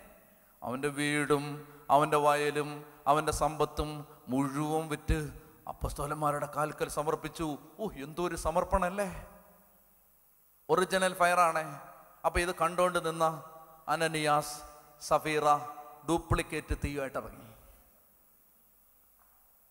ചത്തി പറഞ്ഞേ ഹല്ലേ ലുയാ പിടികിട്ടുന്നുണ്ടോ? ഡ്യൂപ്ലിക്കേഷൻ. ഡ്യൂപ്ലിക്കേഷൻ. നിങ്ങൾക്ക് ഏത് വേണം? ഒറിജിനൽ വേണോ? ഡ്യൂപ്ലിക്കേറ്റ് വേണോ? അത് മേളിൽ നിന്ന് മാത്രമേ വരൂ. ഒറിജിനൽ ആണോ? അത് ദൈവം തരണം. കേട്ടോ? മനുഷ്യന്റെ ഇത് വാങ്ങിക്കാൻ നിൽക്കരുത് ആ ആൾ അങ്ങനെ ചെയ്യുന്നു എന്ന് നമുക്ക് ചെയ്ത് കളയാം. ഈ ആൾ ഇങ്ങനെ ചെയ്യുന്നു നമുക്ക് ചെയ്ത് കളയാം. ആ ആൾ തന്റെ ജീവിതം ആ ആൾ സെമിനാരിൽ പോയി നമുക്കും പൊക്കളയാം no fire has to be original and the original fire comes from above ആകാശത്തിൽ കാറ്റടിക്കും. നീ ഇങ്ങനെ കുനിഞ്ഞു നിന്നാൽ നിന്റെ മേൽ ആ കാറ്റടിച്ചു കയറും. ചതി പറഞ്ഞേ ഹല്ലേ ലുയാ എന്റെ പ്രിയപ്പെട്ട സഹോദരി സഹോദരന്മാരെ നമുക്ക് ഈ ഒറിജിനൽ ഫയർ വേണം. ഒറിജിനൽ ഫയർ വേണോ? വേഗം ചാടി എഴുന്നേക്ക്. വേഗം എഴുന്നേക്ക്. ഡാനിയലച്ചൻ അത് തരാനില്ല. ആർക്കും അത് തരാനില്ല. ദൈവം തരും. ദൈവവചനം സത്യമാണെങ്കിൽ ക്രിസ്തു സത്യമാണെങ്കിൽ യേശുവിന്റെ കുരിശുമരണം സത്യമാണെങ്കിൽ യേശുവിന്റെ ഉത്ഥാനം സത്യമാണെങ്കിൽ വിശുദ്ധ കുർബാന സത്യമാണെങ്കിൽ തിരുസഭ സത്യമാണെങ്കിൽ ഞാനിങ്ങനെ ഇവിടെ നിൽക്കുന്നത് സത്യമാണെങ്കിൽ പരിശുദ്ധാത്മാവ് നിന്റെ മേൽ വരും എന്നതും സത്യമാണ്. ഒരു സംശയമില്ല എന്റെ പ്രിയപ്പെട്ട മക്കളെ ഒരു സംശയമില്ല. ഞാൻ ആയിരങ്ങളുടെ മേൽ ആത്മാവ് ഇറങ്ങുന്നത് കണ്ടിട്ടുണ്ട്. പ്രത്യേകിച്ച് ഒരു പ്രതീക്ഷയില്ലാത്ത ചെറുപ്പക്കാരുടെ മേൽ. ഒരു പ്രതീക്ഷയില്ലാത്ത കഞ്ചാവും കൊണ്ട് ധ്യാനത്തിന് വരികയാണ് കഞ്ചാവും കൊണ്ട്. എന്നിട്ട് കഞ്ചാവൊക്കെ വലിച്ചിങ്ങനെ മയങ്ങിയിരിക്കുകയാണ്. അവന്റെ മേൽ ആത്മാവ് ഇറങ്ങി വന്ന് അവനെ മാറ്റിമറിക്കുന്നത് ഞാൻ കണ്ടിട്ടുണ്ട്. അതുകൊണ്ട് എന്റെ പ്രിയപ്പെട്ട സഹോദരങ്ങളെ പരിശുദ്ധാത്മാവ് സത്യമാണ്. അത് വിശ്വസിക്കുക അത് വിശ്വസിക്ക്. മത്തായി മൂന്ന് പതിനൊന്ന് അവൻ അഗ്നിയാലും ആത്മാവിനാലും നിന്നെ സ്നാനപ്പെടുത്തും. ഈ ഒറിജിനൽ ഫയർ വേണം. അല്ല ഡ്യൂപ്ലിക്കേഷൻ പോരാ. ആരെങ്കിലും എന്തെങ്കിലും ചെയ്യുന്നു നമുക്ക് എന്നാ അങ്ങോട്ട് ചെയ്ത് കളയാം? ആ അയാൾ ബൈബിൾ കൊടുക്കുന്നു നമുക്കും കൊടുത്ത് കളയാം. അയാൾ ഒറീസായി മിഷൻ ആ ഞാനും പൊക്കളയാം നോ. പത്ത് ദിവസം കൊണ്ട് നീ പണി നിർത്തും. മനസ്സിലായോ? ധ്യാന കേന്ദ്രത്തിന് ഡയറക്ടർ ചിരിച്ചില്ലെങ്കിൽ നീ ശുശ്രൂഷ അവസാനിപ്പിക്കും. Because the fire was duplicate ഒറിജിനലാണ് ഉണ്ടല്ലോ. നിന്റെ ഫയർ ഒറിജിനൽ ആണെങ്കിൽ കുരിശെ കിടക്കുന്ന കർത്താവിനെ നോക്കിയാണ് ഈ ശുശ്രൂഷയുടെ വഴുക്കുന്ന വരമ്പിലേക്ക് നീ ഇറങ്ങിയതെങ്കിൽ ഒരാളെയും നോക്കി നീ തുടങ്ങത്തുമില്ല നിർത്തത്തുമില്ല. നിന്റെ നോട്ടം അത്യുന്നതങ്ങളിൽ. എന്റെ പ്രിയപ്പെട്ട മക്കളെ അതുകൊണ്ട് ഈ ഫയർ ഒറിജിനൽ ഫയർ വേണം ഒറിജിനൽ ഫയർ. അത് പ്രാർത്ഥിക്കുക ഈ സഹി ഇത് സഹിയോനാണ്. സഹിയോൻ. അത് കോയിൻസിഡൻസ് അല്ല. ഇത് സഹിയോനാണ്. ഈ സഹിയോനിൽ ആത്മാവിന്റെ തീയിറങ്ങും. വിശ്വസിക്കുക ഈ സഹിയോനിൽ ആ പരിശുദ്ധാത്മാവിന്റെ തീ ഇറങ്ങി വരും. എന്റെ പ്രിയപ്പെട്ട മക്കളെ അതുകൊണ്ട് കർത്താവ് തിരഞ്ഞെടുത്ത സ്ഥലമാണ്. ദൈവം സ്നേഹിക്കുന്ന സ്ഥലമാണ്. ദൈവം തിരഞ്ഞെടുത്ത അഭിഷേകം ചെയ്തിരിക്കുന്ന സ്ഥലമാണ്. ദൈവം തിരഞ്ഞെടുത്തവരാണ് നിങ്ങൾ. അതിന് സംശയം പാടില്ല. നിങ്ങളെ ദൈവം തിരഞ്ഞെടുത്തതാണ്. ഒരിക്കൽ വിളിച്ചതാണ്. ഒരിക്കൽ വിളി കേട്ടതാണ്. ഒരിക്കൽ രണ്ടും കൽപ്പിച്ച് അവന്റെ അവന്റെ വഴിയിലേക്ക് ചാടി ഇറങ്ങിയതാണ്. ഈ കത്തുന്ന തീച്ചുളയ്ക്കകത്ത് നിന്ന് ഞങ്ങളെ രക്ഷിക്കാൻ കഴിവുള്ളവനാണ് ദൈവമെന്ന് പറഞ്ഞ് പുസ്തകം നെഞ്ചത്ത് വെച്ച് എടുത്ത് ചാടിയവരാണ്. നിങ്ങളുടെ മേൽ തീ ഇറങ്ങിയില്ലെങ്കിൽ പിന്നെ ആരുടെ മേൽ ഇറങ്ങും? എന്റെ പ്രിയപ്പെട്ട മക്കളെ അതുകൊണ്ട് ശക്തമായിട്ട് പ്രാർത്ഥിക്കണം. അതിശക്തമായിട്ട്. ഈ പ്രഭാതത്തിൽ ദൈവമേ ഒറിജിനൽ ഫയർ രണ്ട് കരങ്ങൾ സ്വർഗത്തിലേക്ക് ഉയർത്തി അതിശക്തമായ ഒരു അഭിഷേകത്തിന് വേണ്ടി ആഗ്രഹിച്ച് സ്തുതിക്കട്ടെ. ഹാലലുയ ഹാലലുയ. ഹാലലുയ. ഹാലലുയ. ഹാലലുയ. ഹാലലുയ. ഹാലലുയ. ഹാലലുയ ഹാലലുയ ഹാലലുയ ഹാലലുയ ഹാലലുയ ഹാലലുയ ഹാലലുയ ഹാലലുയ. ആഗ്രഹിക്കും മക്കളെ പിതാവേ പിതാവേ പുത്രനായ യേശുവിന്റെ നാമത്തിൽ പ്രാർത്ഥിക്കുന്ന പിതാവേ അപ്പാ പാവപ്പെട്ട മക്കളാണപ്പാ പാവപ്പെട്ട മക്കളാണപ്പാ പാവപ്പെട്ട മക്കളാണപ്പാ പാവപ്പെട്ട മക്കളാണപ്പാ. ഞങ്ങളെ സഹായിക്കാൻ ആരുമില്ലപ്പാ. ഞങ്ങളെ സഹായിക്കാൻ ആരുമില്ലപ്പാ. നീ ഇറങ്ങി വരണമേ. നിന്റെ തീ ഇറങ്ങി വരണമേ. അങ്ങ് മാത്രമാണ് സത്യദൈവമെന്നും അങ്ങ് എല്ലാവരുടെയും ഹൃദയത്തെ അങ്ങിലേക്ക് തിരിച്ചു വിളിക്കുന്നെന്നും ഈ ജനം അറിയേണ്ടതിന് നിന്റെ തീ ഇറങ്ങി വരണമേ. ദൈവമേ അങ്ങ് മാത്രമാണ് സത്യദൈവമെന്നും അങ്ങല്ലാതെ മറ്റൊരു ദൈവമില്ലെന്നും കേരള ജനത അറിയേണ്ടതിന് ഭാരതം അറിയേണ്ടതിന് ലോകം അറിയേണ്ടതിന് നിന്റെ തീ ഇറങ്ങി വരണമേ. അങ്ങ് മാത്രമാണ് സത്യദൈവമെന്ന് ഈ ലോകം തിരിച്ചറിയേണ്ടതിന് അങ്ങയുടെ തീ ഇറങ്ങി വരണമേ. ഉച്ചത്തിൽ വിളിക്കുന്ന ഈശോയേ. അതിനെ തുറന്ന് വിളിക്കുന്നു ഈശോയേ.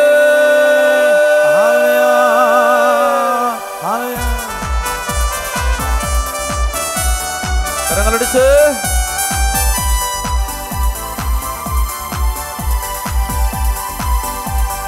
താതന്റെ വാഗ്ദാനമേ. പരിശുദ്ധരുഹായേ നാഥന്റെ വാഗ്ദാനമേ. പരിശുദ്ധരുഹായേ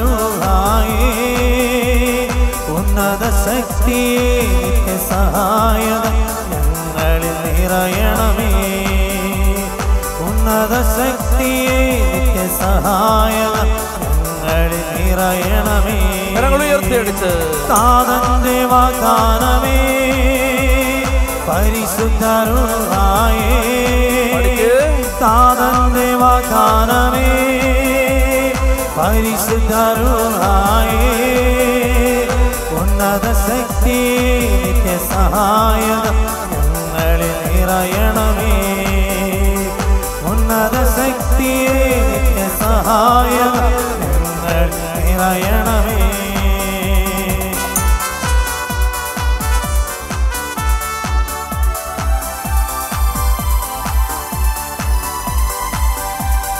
മോശയെ നിറഞ്ഞ ദൈവത്തി ശക്തി അഭിഷേകമായി നിറഞ്ഞിടട്ടെ. മോശയെ നിറഞ്ഞ ദൈവത്തി ശക്തി അഭിഷേകമായി നിറഞ്ഞിടട്ടെ. സൈന്യത്തിൽ മുന്നിൽ ആണിത നടുവിൽ അത്ഭുതങ്ങൾ ചെയ്തൊരു ആത്മശക്തി. സൈന്യത്തിൻ മുന്നിൽ ആണിത നടുവിൽ അത്ഭുതങ്ങൾ ചെയ്തൊരു ആത്മശക്തി. സാധന്റെ വാഗ്ദാനമേ പരിശുദ്ധരുളായേ. സാധന്റെ വാഗ്ദാനമേ പരിശുദ്ധരുളായേ. ഉന്നത ശക്തി നിത്യ സഹായക നിറയണമേ. ഉന്നത ശക്തിയെ നിത്യസഹായക നിറയണമേ.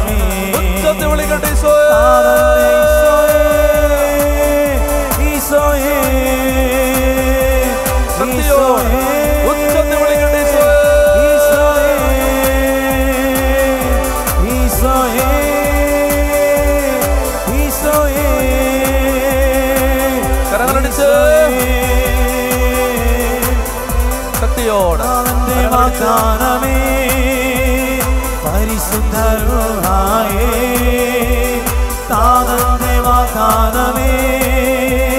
പരിശുദ്ധരുളായേ ഉന്നത ശക്തി നിത്യ സഹായക ഞങ്ങളിൽ നിറയണമേ.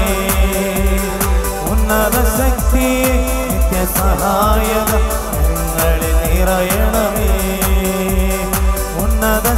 ശക്തി നിത്യസഹായക ഞങ്ങളിൽ നിറയണമേ. പാടിക്കേ നിറഞ്ഞ ഉന്നത ശക്തി അഭിഷേകമായി നിറഞ്ഞിടട്ടെ. ഏലിയായിൽ നിറഞ്ഞ ഉന്നത ശക്തി അഭിഷേകമായി നിറഞ്ഞിടട്ടെ. ബാലിനു മുന്നിൽ കാർമലിൻ മുകൾ അഗ്നിയായി ഇറങ്ങിയ ആത്മശക്തി ബാലിനു കാമറി മുകളിൽ അഗ്നിയായി ഇറങ്ങിയ ആത്മശക്തി താതന്റെ വാഗ്ദാനമേ പരിശുദ്ധരുളായേ. താതന്റെ വാഗ്ദാനമേ. പരിശുദ്ധരുളായേ. ഉന്നത ശക്തി നിത്യസഹായക ഞങ്ങൾ നിറയണമേ. ഉന്നത ശക്തി നിത്യസഹായക ഞങ്ങൾ നിറയണമേ. ശക്തിയോട് ആടിപ്പാടി കാലുകളൊക്കെ മാറ്റി ചവിട്ടി എല്ലാം മറന്ന്. ദാവീദിനെ പോലെ വാഗ്ദാന പേടകത്തിന് മുമ്പിൽ എല്ലാം മറന്ന് നൃത്തമാടി ആരാധിച്ച ദാവീദിനെ പോലെ. ആത്മാവേ വന്ന് നിറയണമേ. ഒരിക്കൽ യേശുവിന് വേണ്ടി ജീവിതം സമർപ്പിച്ച ഒരിക്കൽ കർത്താവിന് വേണ്ടി ജീവിതം കൊടുത്ത ഒരിക്കൽ യേശുവിന്റെ രാജ്യത്തിന് വേണ്ടി ദൈവരാജ്യത്തിന് വേണ്ടി ജീവിതം സമർപ്പിച്ച ഈ മക്കളുടെ മേൽ. ദൈവമേ കേരള സഭയെ പിടിച്ചു കുലുക്കുന്ന ഒരു കാറ്റിന്റെ അഭിഷേകം പകരപ്പെടുവാൻ ഈ മക്കളെ അവിടുന്ന് തെരഞ്ഞെടുക്കണമേ ഉപയോഗിക്കണമേ. അങ്ങയുടെ നാമത്തിന്റെ ശക്തിക്കായി നിന്റെ നാമത്തിന്റെ മഹത്വത്തിനായി ഈ ജീവിതങ്ങളുടെ മേൽ വലിയ തീയിറങ്ങി വരണമേ. കർത്താവേ പാപത്തെ തോൽപ്പിക്കുന്ന ശക്തിയായി പിശാചിന്റെ തലയിൽ ചവിട്ടുന്ന ശക്തിയായി സാത്താന്റെ ആധിപത്യത്തിൽ നിന്ന് അനേകം മക്കളെ വീണ്ടെടുക്കാൻ ഈ ജനത്തിന്റെ മേൽ നിന്റെ അത്ഭുത അഭിഷേകം ഇപ്പോൾ ഒഴുകണമേ. Ya power ya mighty power ya mighty power anointing ഉച്ചത്തിൽ വിളിക്കട്ടെ ഈശോയെ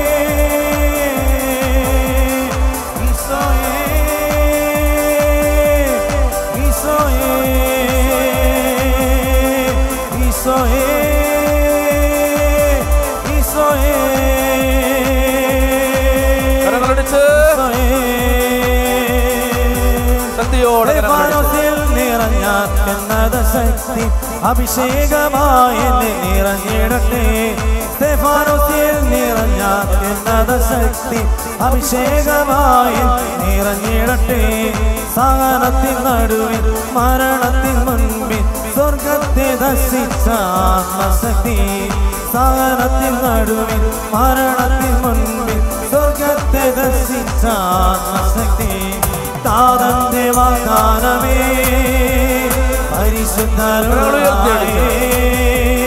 താതന്റെ വാഗ്ദാനമേ പരിശുദ്ധരുളായേ ഉന്നത ശക്തി നിന്റെ സഹായം ഞങ്ങളിൽ നിറയണമേ. ഉന്നത ശക്തി നിത്യ സഹായം ഞങ്ങൾ നിറയണമേ. ഉന്നത ശക്തി നിത്യ സഹായം ഞങ്ങൾ നിറയണമേ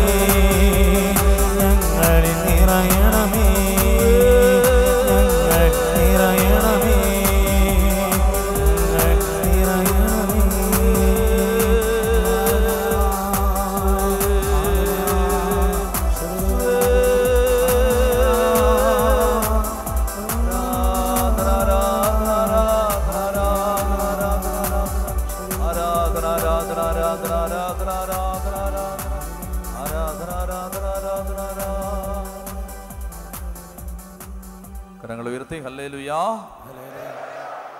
വേഗം നമുക്ക് വേണ്ടത് യഥാർത്ഥ അഗ്നിയാണ്. പന്തക്കുസ്ത തിരുനാളിൽ അപ്പസ്തോലന്മാരുടെ മേലും തിരുസഭയുടെ മേലും ഇറങ്ങി വന്നത് ആ ഒറിജിനൽ ഫയറാണ് ആ അത്യുന്നത ദൈവത്തിന്റെ ആ യഥാർത്ഥ അഭിഷേകം യഥാർത്ഥ ശക്തി. എന്റെ പ്രിയപ്പെട്ട സഹോദരി സഹോദരന്മാരെ അത് നിറയാൻ ആഗ്രഹിച്ച് പ്രാർത്ഥിക്കുന്ന ഒരു സമൂഹത്തിൽ അനേകം ജീവിതങ്ങൾ എനിക്ക് ശക്തമായ അതിശക്തമായ ബോധ്യമുണ്ട്. ഒത്തിരി പേര് ശുശ്രൂഷ ജീവിതത്തിൽ പല കാലഘട്ടങ്ങളിലും മടുത്തു പോകുന്നവരാണ്. മടുത്തു പോയവരാണ്. ഒരിക്കലും വലിയ അഭിഷേകത്തിലും തീയിലും നിന്നവരാണ്. എന്നാൽ പിന്നീട് കാലാന്തരത്തിൽ ഈ തീ പല കാരണങ്ങൾ കൊണ്ട് അത് കെട്ടുപോയി അത് ഇല്ലാതായി. ഇപ്പോൾ ഒരു വരണ്ട ജീവിതം നയിക്കുകയാണ്. അങ്ങനെയുള്ള ആളുകൾക്ക് വേണ്ടി ആത്മാവ് തരുന്ന ഞാൻ തയ്യാറാക്കി കൊണ്ടുവന്ന ഒരു ടോക്കല്ല ഇത്. പരിശുദ്ധാത്മാവ് തരുന്ന ഒരു പ്രേരണ അനുസരിച്ച് ഞാൻ സംസാരിക്കുകയാണ്. അതുകൊണ്ടാണ് ഇങ്ങനെ നമ്മൾ സ്വിച്ച് ചെയ്ത് സ്വിച്ച് ചെയ്ത് പോകുന്നത്. ഒരു വിഷയം പറഞ്ഞു പോവല്ല. ഇങ്ങനെ മാറി മാറി പോകുന്നതിന്റെ കാരണം അതാണ്. ആത്മാവ് നയിക്കുന്ന വഴിക്ക് പോകാൻ വേണ്ടിയിട്ടാണ്. അപ്പോൾ ചില ആളുകൾ ഇതിനകത്തുണ്ടാവാം. എന്താണ്? അതായത് മടുത്തുപോയി. ഇപ്പോൾ ഒരു ഒരു ഒരു അഭിഷേകം ഇല്ല. അഭിഷേകമുണ്ട്. അത് അങ്ങോട്ട് അനുഭവിക്കാൻ പറ്റുന്നില്ല. ആത്മാവുണ്ട്. പക്ഷെ പരിശുദ്ധാത്മാവിന്റെ പ്രവർത്തനം കിട്ടുന്നില്ല. ആത്മാവ് നയിക്കുന്ന ഒരു അനുഭവം കിട്ടുന്നില്ല. പല കാരണങ്ങൾ കൊണ്ട് വചനം ഞെരുക്കപ്പെട്ടു. മുള്ളു വന്ന് ഞെരുക്കി അല്ലെങ്കിൽ തഴമ്പിച്ച ഹൃദയമായി. നമ്മൾ മനസ്സിലാക്കിയിരിക്കേണ്ടത് എന്തെന്നറിയാമോ? ഇത് നമ്മളിങ്ങനെ ശുശ്രൂഷ ജീവിതത്തിൽ മുന്നോട്ട് മുന്നോട്ട് പോകുമ്പോൾ നമുക്ക് വളരെ വളരെ കർശനമായ ശ്രദ്ധയില്ലെങ്കിൽ നമ്മുടെ ഹൃദയം തഴമ്പിച്ചു പോകും. തഴമ്പിച്ചു പോയാൽ പിന്നെ വചനം കയറില്ല വഴി പോലാവും. കർത്താവ് പറഞ്ഞില്ലേ വഴിയരികിൽ വീണ വിത്ത്. പല ശുശ്രൂഷകരുടെ ഹൃദയം വഴിയാണ്. ആരുടെയും കുറ്റമല്ല. ഇങ്ങനെ ഓരോന്ന് ഓരോന്ന് ചെയ്ത് ചെയ്ത് ചെയ്ത് ചെയ്ത് ചെയ്ത് ചെയ്ത് ചെയ്ത് തഴമ്പിച്ചു പോയി. തഴമ്പിച്ചു പോയപ്പോൾ എന്തുണ്ടായി? ദൈവഭയം ഇല്ലാതായി. ദൈവഭയം ഇല്ലാതായി.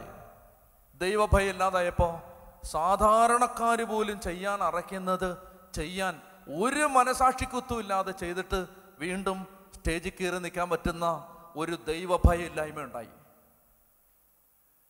എന്റെ പ്രിയപ്പെട്ട സഹോദരി സഹോദരന്മാരെ നമ്മൾ ആരെയും കുറ്റം പറഞ്ഞിട്ട് കാര്യമില്ല. നമ്മുടെ അവസ്ഥ ഇതാണ്. അല്ലെ പലരുടെ അവസ്ഥ ഇതാണ്. ഒരിക്കലൊരു തീ ഉണ്ടായിരുന്നതാണ്. ഒരിക്കലൊരു അഗ്നി ആളി കത്തിയതാണ്. ഒറിജിനൽ ഫയർ ആയിരുന്നു. എന്നാൽ പിന്നീട് അത് തണുത്തുപോയി. നിങ്ങളുടെ കാര്യം മനസ്സിലാക്കിയിരിക്കേണ്ടത് ജീവിതത്തിൽ എന്തെങ്കിലും ദൈവത്തിന്റെ ആത്മാവിന്റെ യഥാർത്ഥ അഗ്നി നിങ്ങളിലേക്ക് വന്നിട്ടുണ്ടെങ്കിൽ കാലാന്തരത്തിൽ അത് തണുത്തുപോയാലും കെട്ടുപോയാലും മറിഞ്ഞു കിടന്നാലും അതിനാളിക്കത്താൻ ഒരു സെക്കൻഡ് മതി. ഒരു സെക്കൻഡ് എന്നെ വിശ്വസിക്കും. എന്നെ വിശ്വസിക്കുക ഒരു സെക്കൻഡ് മതി. വേഗം അതിനെടുത്തു. രണ്ട് മക്കമായർ ഒന്നാമധ്യായം രണ്ട് മക്കമായർ ഒന്നാമധ്യായം second Maccabees chapter one verse eighteen onwards രണ്ട് മക്കമായർ ഒന്നാമധ്യായം പതിനെട്ട് മുതൽ. വായിക്കാമോ?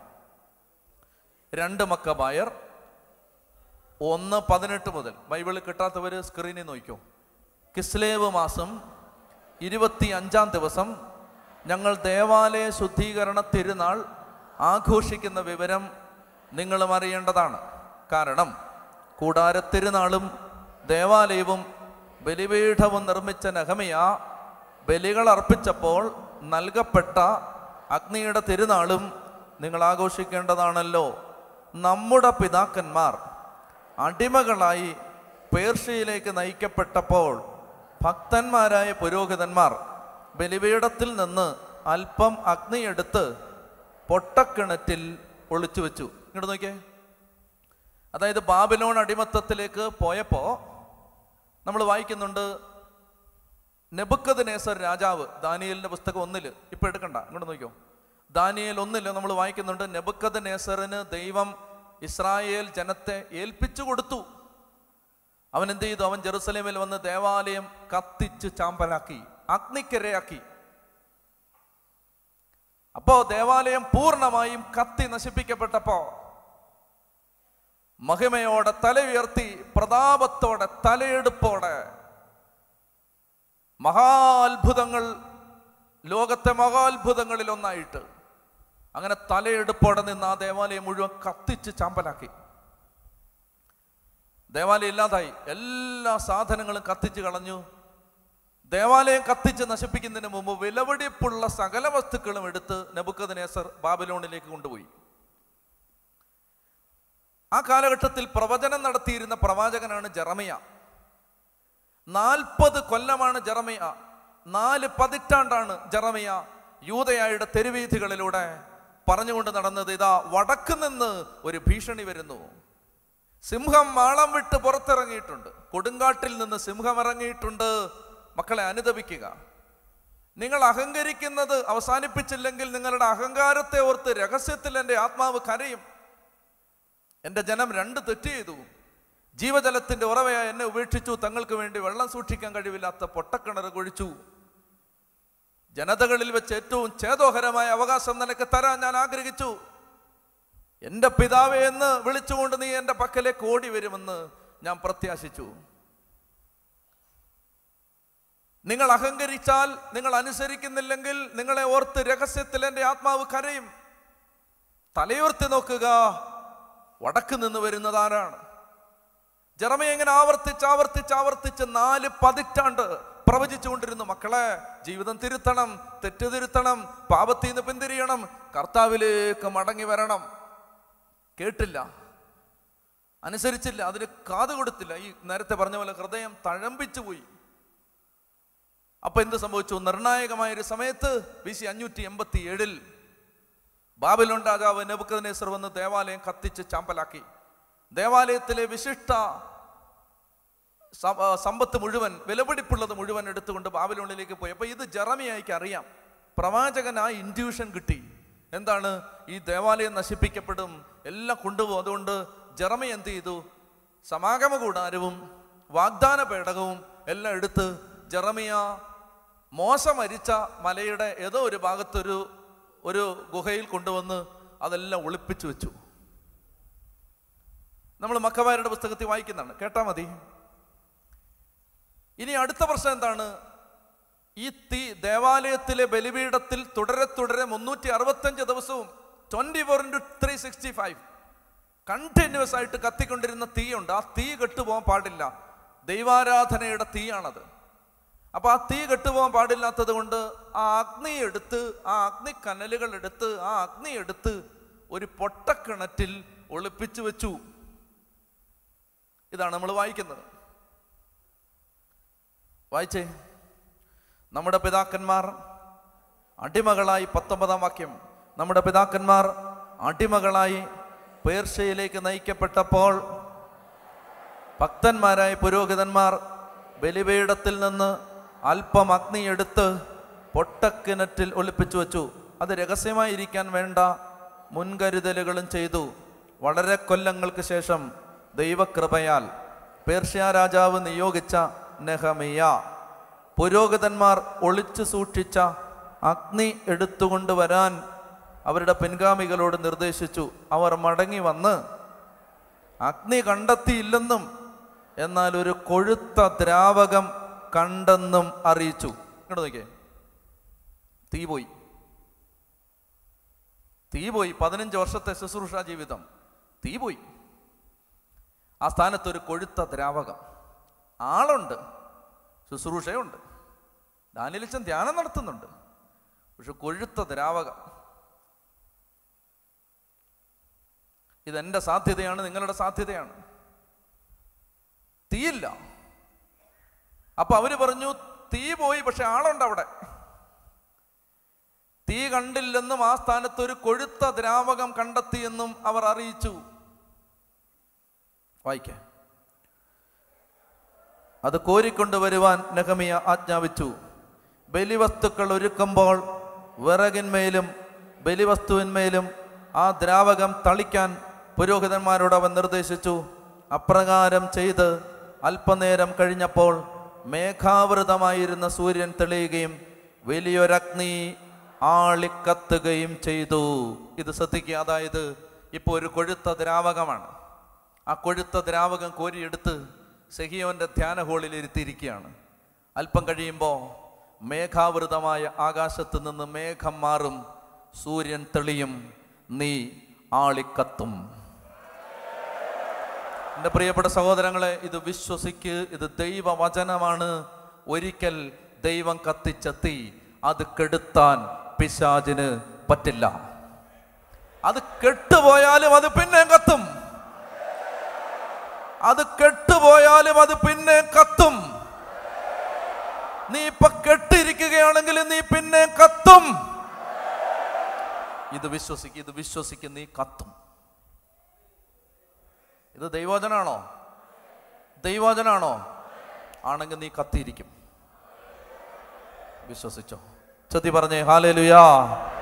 എന്റെ പ്രിയപ്പെട്ട സഹോദരങ്ങളെ ഒരിക്കൽ ദൈവം കൊളുത്തിയതാണെങ്കിൽ അതാണ് ഒറിജിനൽ ഫയർ ആണെങ്കിൽ ഒറിജിനൽ ഫയർ ആണോ? ഇപ്പൊ നീ തണുത്തിരിക്കുകയാണ് സാരയില്ല കേട്ടാ ഇപ്പൊ തണുത്തിരിക്കുകയാണ് പൊന്നു ചേച്ചി വിഷമിക്കണ്ട. ഇവിടെ ഇരുന്നോ. സൂര്യൻ ദാ നിന്റെ തലയ്ക്ക് മീതെ ഉദിക്കും. ചൂട് കുറച്ചടിച്ചാൽ മതി ചൂട്. ഇനി ആരും കൊണ്ടുവന്ന് മണ്ണെണ്ണ ഒഴിച്ച് കത്തിക്കൊന്നും വേണ്ട. ചൂടടിച്ചാൽ മതി. ചൂടടിക്കുന്നിട്ട് തിരിക്ക് കുറച്ച് നേരം. ചൂടടിക്കാൻ സാധ്യതയുള്ളൊരു തിരിക്ക്. ആട്ടങ്ങിയിരിക്ക്. വചനം കേക്ക്. ചൂടടിക്കട്ടെ. വിശുദ്ധ കുർബാനെ സംബന്ധിക്ക് ചൂടടിക്കട്ടെ ജപമാല ചൊല്ല് ചൂടടിക്കട്ടെ മിണ്ടാതെ നടക്ക് ചൂടടിക്കട്ടെ ഹൃദയം തുറന്നിരിക്ക് ചൂടടിക്കട്ടെ. സെഗിയോന്റെ വിട്ട് വിട്ടിറങ്ങും മുമ്പ് നീ ഒരു തീപ്പന്തമായി മാറിയിരിക്കും. ചൊത്തി പറഞ്ഞേ ഹാലേ ലുയാ ഹാലേ ലുയാ എന്റെ പ്രിയപ്പെട്ട സഹോദരങ്ങളെ ആരെങ്കിലും ശുശ്രൂഷ ജീവിതത്തിൽ മടുത്ത് തണുത്ത് പാപത്തിൽ വീണ് അനേകം തിന്മ ചെയ്ത് ഒരിക്കലും രക്ഷപ്പെടാൻ പറ്റാത്ത വഴിയിലും കുരുക്കിലും പെട്ടിരിക്കുകയാണെങ്കിലും എന്റെ പ്രിയപ്പെട്ട മകനെ മകളെ സുവിശേഷം എന്താണ്? സുവിശേഷം ഇത്രയേ ഉള്ളൂ. വീണ്ടെടുക്കപ്പെടാൻ പറ്റാത്തതുപോലെ ആരും നശിച്ചു പോയിട്ടില്ല. അതാണ് സുവിശേഷം. രക്ഷിക്കാൻ പറ്റാത്തതുപോലെ ആരുമില്ല ഈ ലോകത്ത്. അതാണ് സുവിശേഷം. എല്ലാവർക്കും രക്ഷയുണ്ട്. എല്ലാവരെയും രക്ഷപ്പെടുത്താൻ കർത്താവായ യേശുവിന്റെ കുരിശുണ്ട്. അതുകൊണ്ട് ഇത് വിശ്വസിച്ചുകൊണ്ട് നമ്മൾ ഈ ദിവസങ്ങളിൽ നടക്കുന്ന ശുശ്രൂഷകളിൽ സംബന്ധിച്ചുകൊണ്ടേയിരിക്കണം ഈ അഗ്നി ആളിക്കത്ത്. കാരണം ഒരിക്കൽ ഈ തീ വീണവരാണിത്. അല്ലെങ്കിൽ വരില്ല നിങ്ങൾ. ഒരിക്കൽ എവിടെയോ വെച്ച് ഈ അഗ്നി ഇറങ്ങിയതാണ് നിങ്ങളുടെ മേൽ. ഈ ആത്മാവിന്റെ തീ നിങ്ങൾ ഒരിക്കൽ ടേസ്റ്റ് ചെയ്തതാണ്. ഒരിക്കൽ നിങ്ങളുടെ ശുശ്രൂഷ ആളിക്കത്തിയതാണ്. ഇപ്പം ചിലപ്പം അടുത്ത് പോയിട്ടുണ്ടാവാം. വിഷമിക്കരുത്. ഒരു കുംഭസാരക്കൂട്ടിൽ വെച്ച് ഈ മേഘം മാറും. മനസ്സ് തുറന്ന് നീ പാപം എല്ലാം അങ്ങോട്ട് എഴുതി വെച്ച് കണ്ണുനീരോടെ കുമ്പസാരിക്കുമ്പോൾ ഈ മേഘം മാറും സൂര്യൻ തെളിയും. കുമ്പസാരം കഴിഞ്ഞ് നേരെ മേളിലോട്ട് നോക്കണം. നീതി സൂര്യൻ ഇങ്ങനെ ചിരിച്ചുകൊണ്ട് നിൽക്കുന്ന കാണാം ഹായ് പറഞ്ഞിട്ട്. കർത്താവിന്റെ മുഖം കാണാൻ നിനക്ക് ഭാഗ്യം കിട്ടും. മടുത്തു പോരുത് തളർന്നു പോരുത് ക്ഷീണിച്ചു പോരുത്. ഈ സൂര്യൻ നിന്റെ തലയ്ക്ക് മീതെ കത്തും. എന്റെ പ്രിയപ്പെട്ട സഹോദരങ്ങളെ അതുകൊണ്ട് കർത്താവിനെ സ്നേഹിച്ച. എനിക്ക് എനിക്ക് മറക്കാൻ പറ്റാത്തൊരു രംഗം പാഷൻ ഓഫ് ക്രൈസ്റ്റ് നിങ്ങൾ കണ്ടിട്ടുണ്ടാവും. ഷിമയോൻ ഷിമയോൻ കാഴ്ച കാണാൻ നിന്നാണ് ഇങ്ങനെ. യേശുവിന്റെ കാലത്ത് പീലാത്തോസ് തന്നെ ഏതാണ്ട് അയ്യായിരത്തോളം ആളുകളെ കുരിശ് തറച്ചു കൊന്നു എന്നാണ് ചരിത്രം പറയുന്നത്. അപ്പൊ കുരിശ് മരണം ഒരു സാധാരണ മരണമാണ്. അതിനകത്ത് അതിശയോക്തിയൊന്നുമില്ല. ഈ മനുഷ്യൻ സൈറീൻകാരൻ കെവറീൻകാരൻ ഷിമയോൻ ഈ സൈറീൻ അങ്ങ് ഈജിപ്തിലാണ്. ഞാൻ വായിച്ചത് മനസ്സിലാക്കിയത് ഇങ്ങനെയാണ്. ഇദ്ദേഹം ഒരു കറുത്ത വർഗക്കാരനാണ്. അപ്പൊ ഈ മനുഷ്യൻ എന്തോ വാണിജ്യ ആവശ്യങ്ങൾക്ക് ഇവിടെ എത്തിയതാണ്. അപ്പൊ ഈ റോമാ നഗര സോറി ജെറുസലേം നഗരത്തിലെത്തി. അയാൾ അയാളുടെ എന്തോ ആവശ്യം വീട്ടിലെ കാര്യമോ കച്ചവട സംബന്ധമായ കാര്യം എന്തോ കാര്യത്തിന് വേണ്ടി വന്നിട്ട് അയാളിങ്ങനെ നിന്നപ്പോഴാണ് ഒരു ബഹളം. അവനെ ക്രൂശിക്കുക അവനെ ക്രൂശിക്കുക. പിന്നെ ഭയങ്കര അടി നിലവിളി എല്ലാം കണ്ടിട്ട് ഇങ്ങനെ എത്തി നോക്കിയാണ്. എന്താ സാറേ പ്രശ്നം? അങ്ങനെ നോക്കിയാണ്. എന്നാ പ്രശ്നം? അപ്പോൾ അയാൾ പറഞ്ഞ ഒരുത്തനെ കുരിശ് തറയ്ക്കാൻ കൊണ്ടുപോകും ആരാ അത്? ജീസസ്. ആരാ അത്? അത് ഈ നാട്ടിൽ ഇങ്ങനെ പത്ത് മുപ്പത്തിയൊന്ന് വയസ്സേ ഉള്ളൂ. കുറച്ച് അത്ഭുതമൊക്കെ ചെയ്ത ആളാണ്.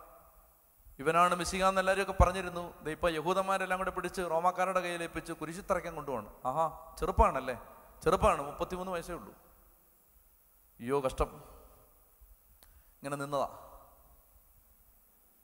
ഇപ്പൊ ഇവിടെ ഇരിക്കുക. പണ്ട് ഇങ്ങനെ നിന്നതാ. ഒരു കൺവെൻഷൻ നടക്കുമ്പോൾ ഏറ്റവും പുറകിൽ ഇങ്ങനെ നിന്നതാ. ഇപ്പൊ ദേ ഇവിടെ ഇരിക്കുന്നു. ഇങ്ങനെ നിന്നതാ പണ്ട്. കാണാൻ വന്നതാ.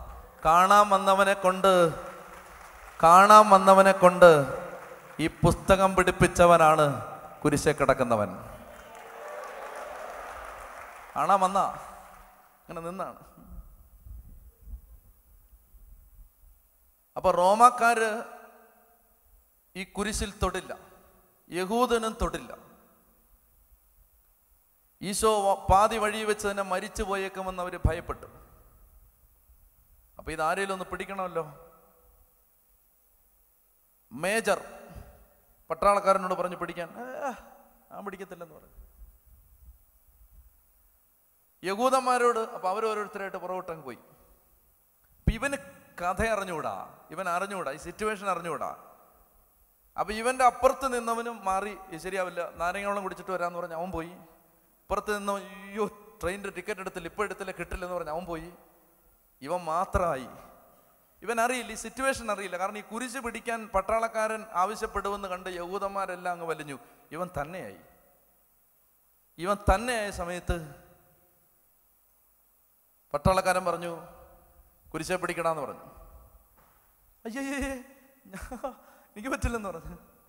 ഞാൻ ഞാൻ ഇവിടെ ഇവിടെ അല്ല നാട്ടുകാരനല്ല. സാധനം വാങ്ങിക്കാൻ വന്ന പഞ്ചസാര വാങ്ങിക്കാൻ പറഞ്ഞു.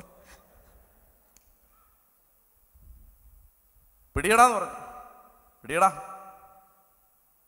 അല്ല അങ്ങനെ പറഞ്ഞു അങ്ങനെ സാറേ. വീട്ടിൽ ചെല്ലണമെന്ന് പറഞ്ഞു. വൈകുന്നേരം ചെന്ന് ഒന്നാമത് ഭാര്യ കലി ഇളകിയിരിക്കുക. പോണോന്ന് പറഞ്ഞു. പിടിയടാ. ഷൂ ഷൂ എന്തൊരു ഉപദ്രവം ഇത്.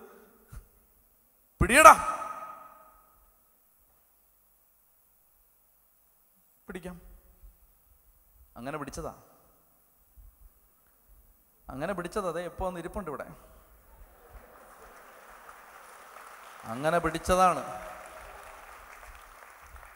അങ്ങനെ പിടിച്ചത്. അതെ മയക്കും പിടിച്ച് നിപ്പുണ്ട് ഇവിടെ. അങ്ങനെ പിടിച്ചതാ. ഇഷ്ടമുണ്ടായിട്ട് പിടിച്ചതല്ല അന്ന് സാഹചര്യങ്ങൾ അങ്ങനെ പ്രേരിപ്പിച്ചു പിടിക്കാൻ ഒരു രോഗം ഒരു ക്ലേശം ഒരു അപമാനം ഒരു ഉത്തരയില്ലായ്മ മനസ്സിൽ ഉരുണ്ടുകൂടിയ ഒരസ്വസ്ഥത അന്ന് ഈ കുരിശെ പിടിക്കാൻ പ്രേരിപ്പിച്ചു. അന്ന് വല്ല ഓർത്തുകൊണ്ട് പിടിച്ചാണോ? അന്നറിയാമായിരുന്നോ? ഇന്ന് ജീവിതം ഇവിടെ എത്തുമെന്ന് അറിയില്ല. അന്ന് ചുമ്മാ പിടിച്ചതാ. വെറുതെ പിടിച്ചതാ. നിർബന്ധം കൊണ്ട് പിടിച്ചതാണ്. സാഹചര്യങ്ങളുടെ സമർത്ഥം കൊണ്ട് പിടിച്ചാണ് അല്ലേ ഏട്ടാ? സത്യം പറ. അല്ലേ? അതെ. അതെ. സാഹചര്യങ്ങളുടെ സമർത്ഥം കൊണ്ട് അന്ന് പിടിച്ചതാണ്. പിടിച്ചു. പിടിച്ചങ്ങോട്ട്. എന്തോരു വെയിറ്റ് ഇതിന്? അവിടെ ഇരുന്നപ്പോൾ വിചാരിച്ച് എന്ത് എളുപ്പം ഇത്? ചുമ്മാ മൈക്കിലൂടെ പറഞ്ഞാൽ മതിയല്ലേ? ഇവിടെ വന്നപ്പോഴാണ് മനസ്സിലായത്. അയ്യോ എന്തോരു വെയിറ്റ് ഇത്? പിടിച്ചു. പൊക്കി. കുരിശിങ്ങനെ പിടിച്ച് തോളിലോട്ട് വെച്ചിട്ട് ഈ മുപ്പത്തിമൂന്നുകാരന്റെ മുഖത്തോട്ടൊന്ന് നോക്കി. And that made every change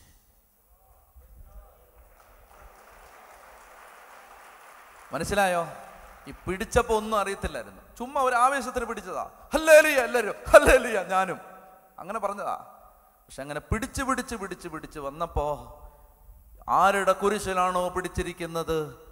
അവന്റെ മുഖത്തേക്കൊന്ന് നോക്കി. ഒരു നോട്ടം ഉണ്ടല്ലോ. ആ ഒരു നോട്ടം ആ ഒരു നോട്ടം മതി ജന്മാന്തരങ്ങളിലേക്ക്. ആ ഒരു നോട്ടം. ഇവനെ നോക്കി. പേരൊന്നും വിളിച്ചില്ല. ശിമയോനെ വിളിച്ചില്ല. നോക്കി. ഹോ! ഒന്നുകൂടെ നോക്കാൻ വയ്യ. ഒന്നുകൂടെ നോക്കാൻ വയ്യ. അതുപോലാണ് ആ നോട്ടം. ഒന്നുകൂടെ നോക്കണമെന്നുണ്ട് നോക്കാൻ വയ്യ. അപ്പൊ ഇങ്ങനെ മുഖം മാറ്റിയിട്ട് ഇത് പിടിച്ചു പിടിച്ചിങ്ങനെ കൊണ്ടുപോകുന്ന വഴിക്ക് മറിഞ്ഞു വീണു. മറിഞ്ഞു വീണിട്ട് ഇങ്ങനെ എഴുന്നേക്കുമ്പോ ഒന്നുകൂടെ നോക്കി ഓ നോക്കാൻ വയ്യ.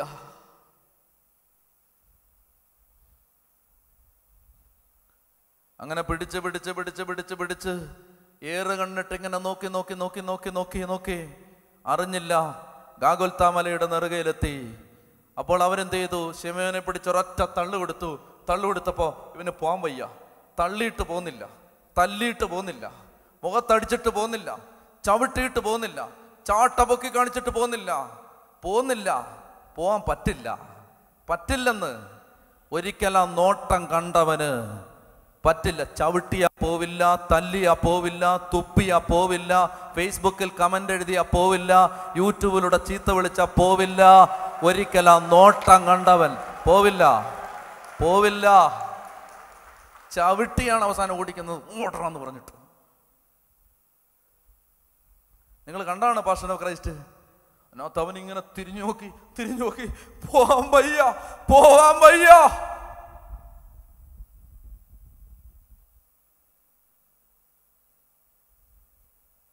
ഷിമയോൻ ദേ ഇപ്പോൾ സെഹിയോന്റെ ധ്യാന ഹോളിൽ പോവാൻ വയ്യ. അടിയൊക്കെ കൊണ്ടു വീണുപോയി വയ്യ മടുത്തുപോയി പക്ഷെ വിട്ടിട്ടിട്ട് പോവില്ല. പോവില്ല. എന്താ സംഭവിച്ചെന്നറിയാമോ?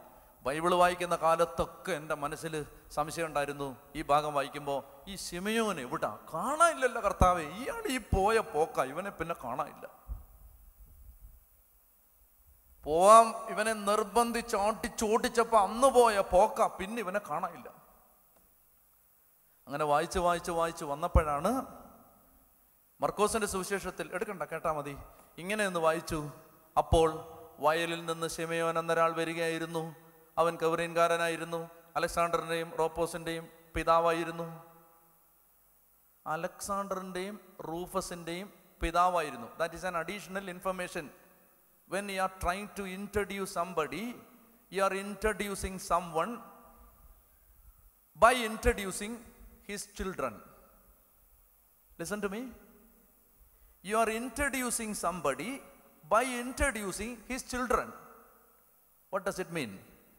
അതായത് നിങ്ങൾ ഇപ്പോൾ പറയുകയാണ് യശ് യശോദാമ മരിച്ചു നമുക്കെന്നാ യശോദാമ്മ മരിച്ചതിന് നരേന്ദ്രമോദിയുടെ അമ്മ യശോദാമ്മ മരിച്ചു ആഹാ പ്രധാനമന്ത്രിയുടെ അമ്മ മരിച്ചോ മരിച്ചില്ല കേട്ടോ ഉദാഹരണം ഇനി അതിന്റെ പേര് ഭക്ഷണം കഴിക്കാമെന്നിരിക്കേണ്ട ഉച്ചയ്ക്ക്. മരിച്ചിട്ടില്ല. ഉദാഹരണം യശോദാമ്മ മരിച്ചു. And that doesn't make any sense പ്രധാനമന്ത്രിയുടെ അമ്മ ആ ഓ മറ്റേ പത്ത് രൂപയായിട്ടൊക്കെ ഇരുന്ന് അമ്മച്ചല്ലേ ആ.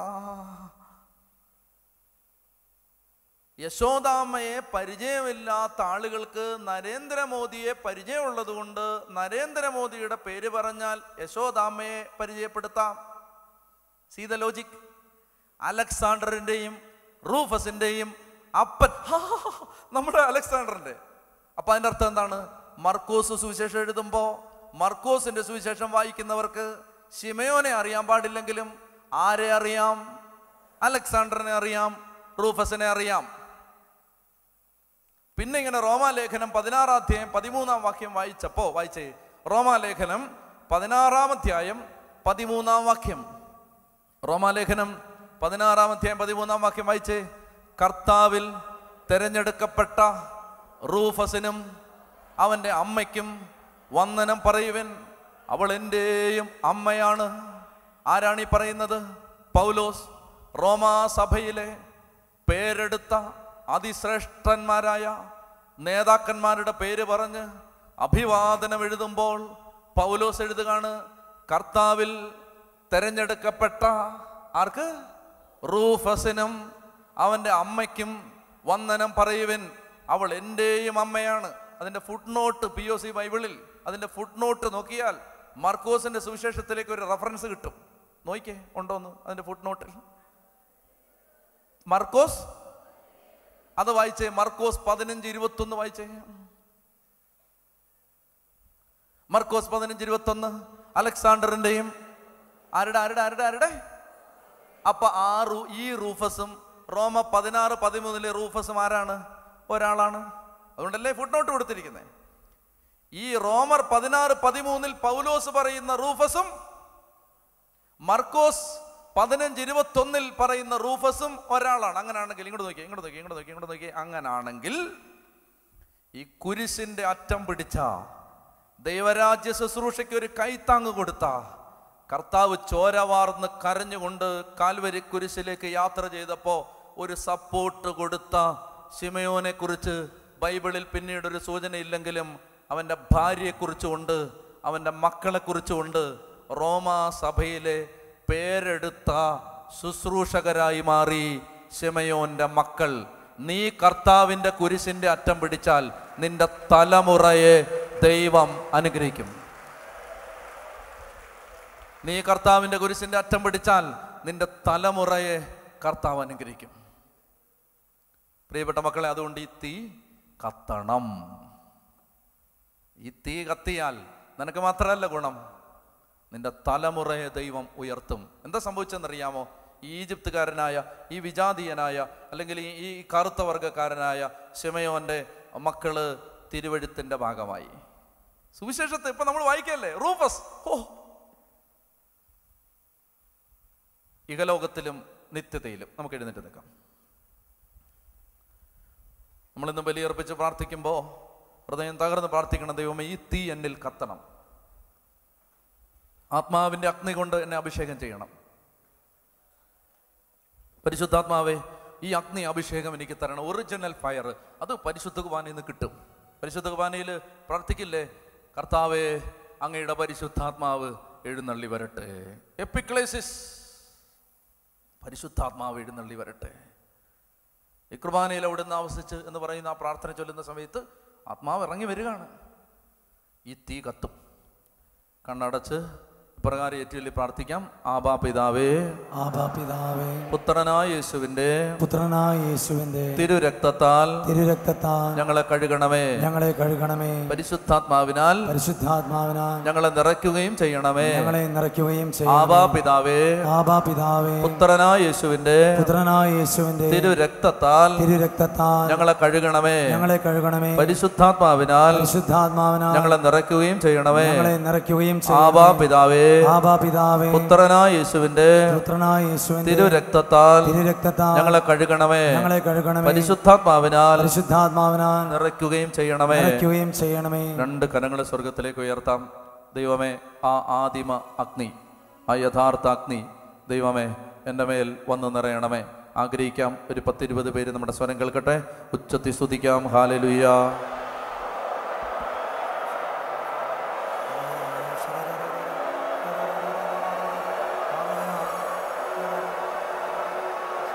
അതിനെ തുറന്ന് സ്തുതിക്കട്ടെ ഹാലലുയ ഹാലലുയ ഹാലലുയ ഹാലലുയ ഹാലലുയ ശക്തിയോടെ ശക്തിയോടെ ശക്തിയോടെ സ്തുതിക്കട്ടെ ആരാധന ഹാലുലയ ഹാലുലയ ഹാലുലയ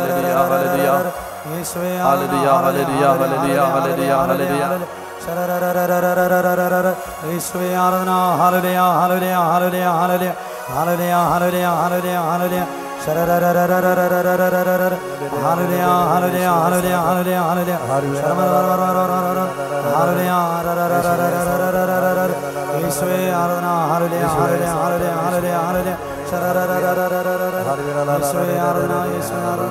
Hallelujah.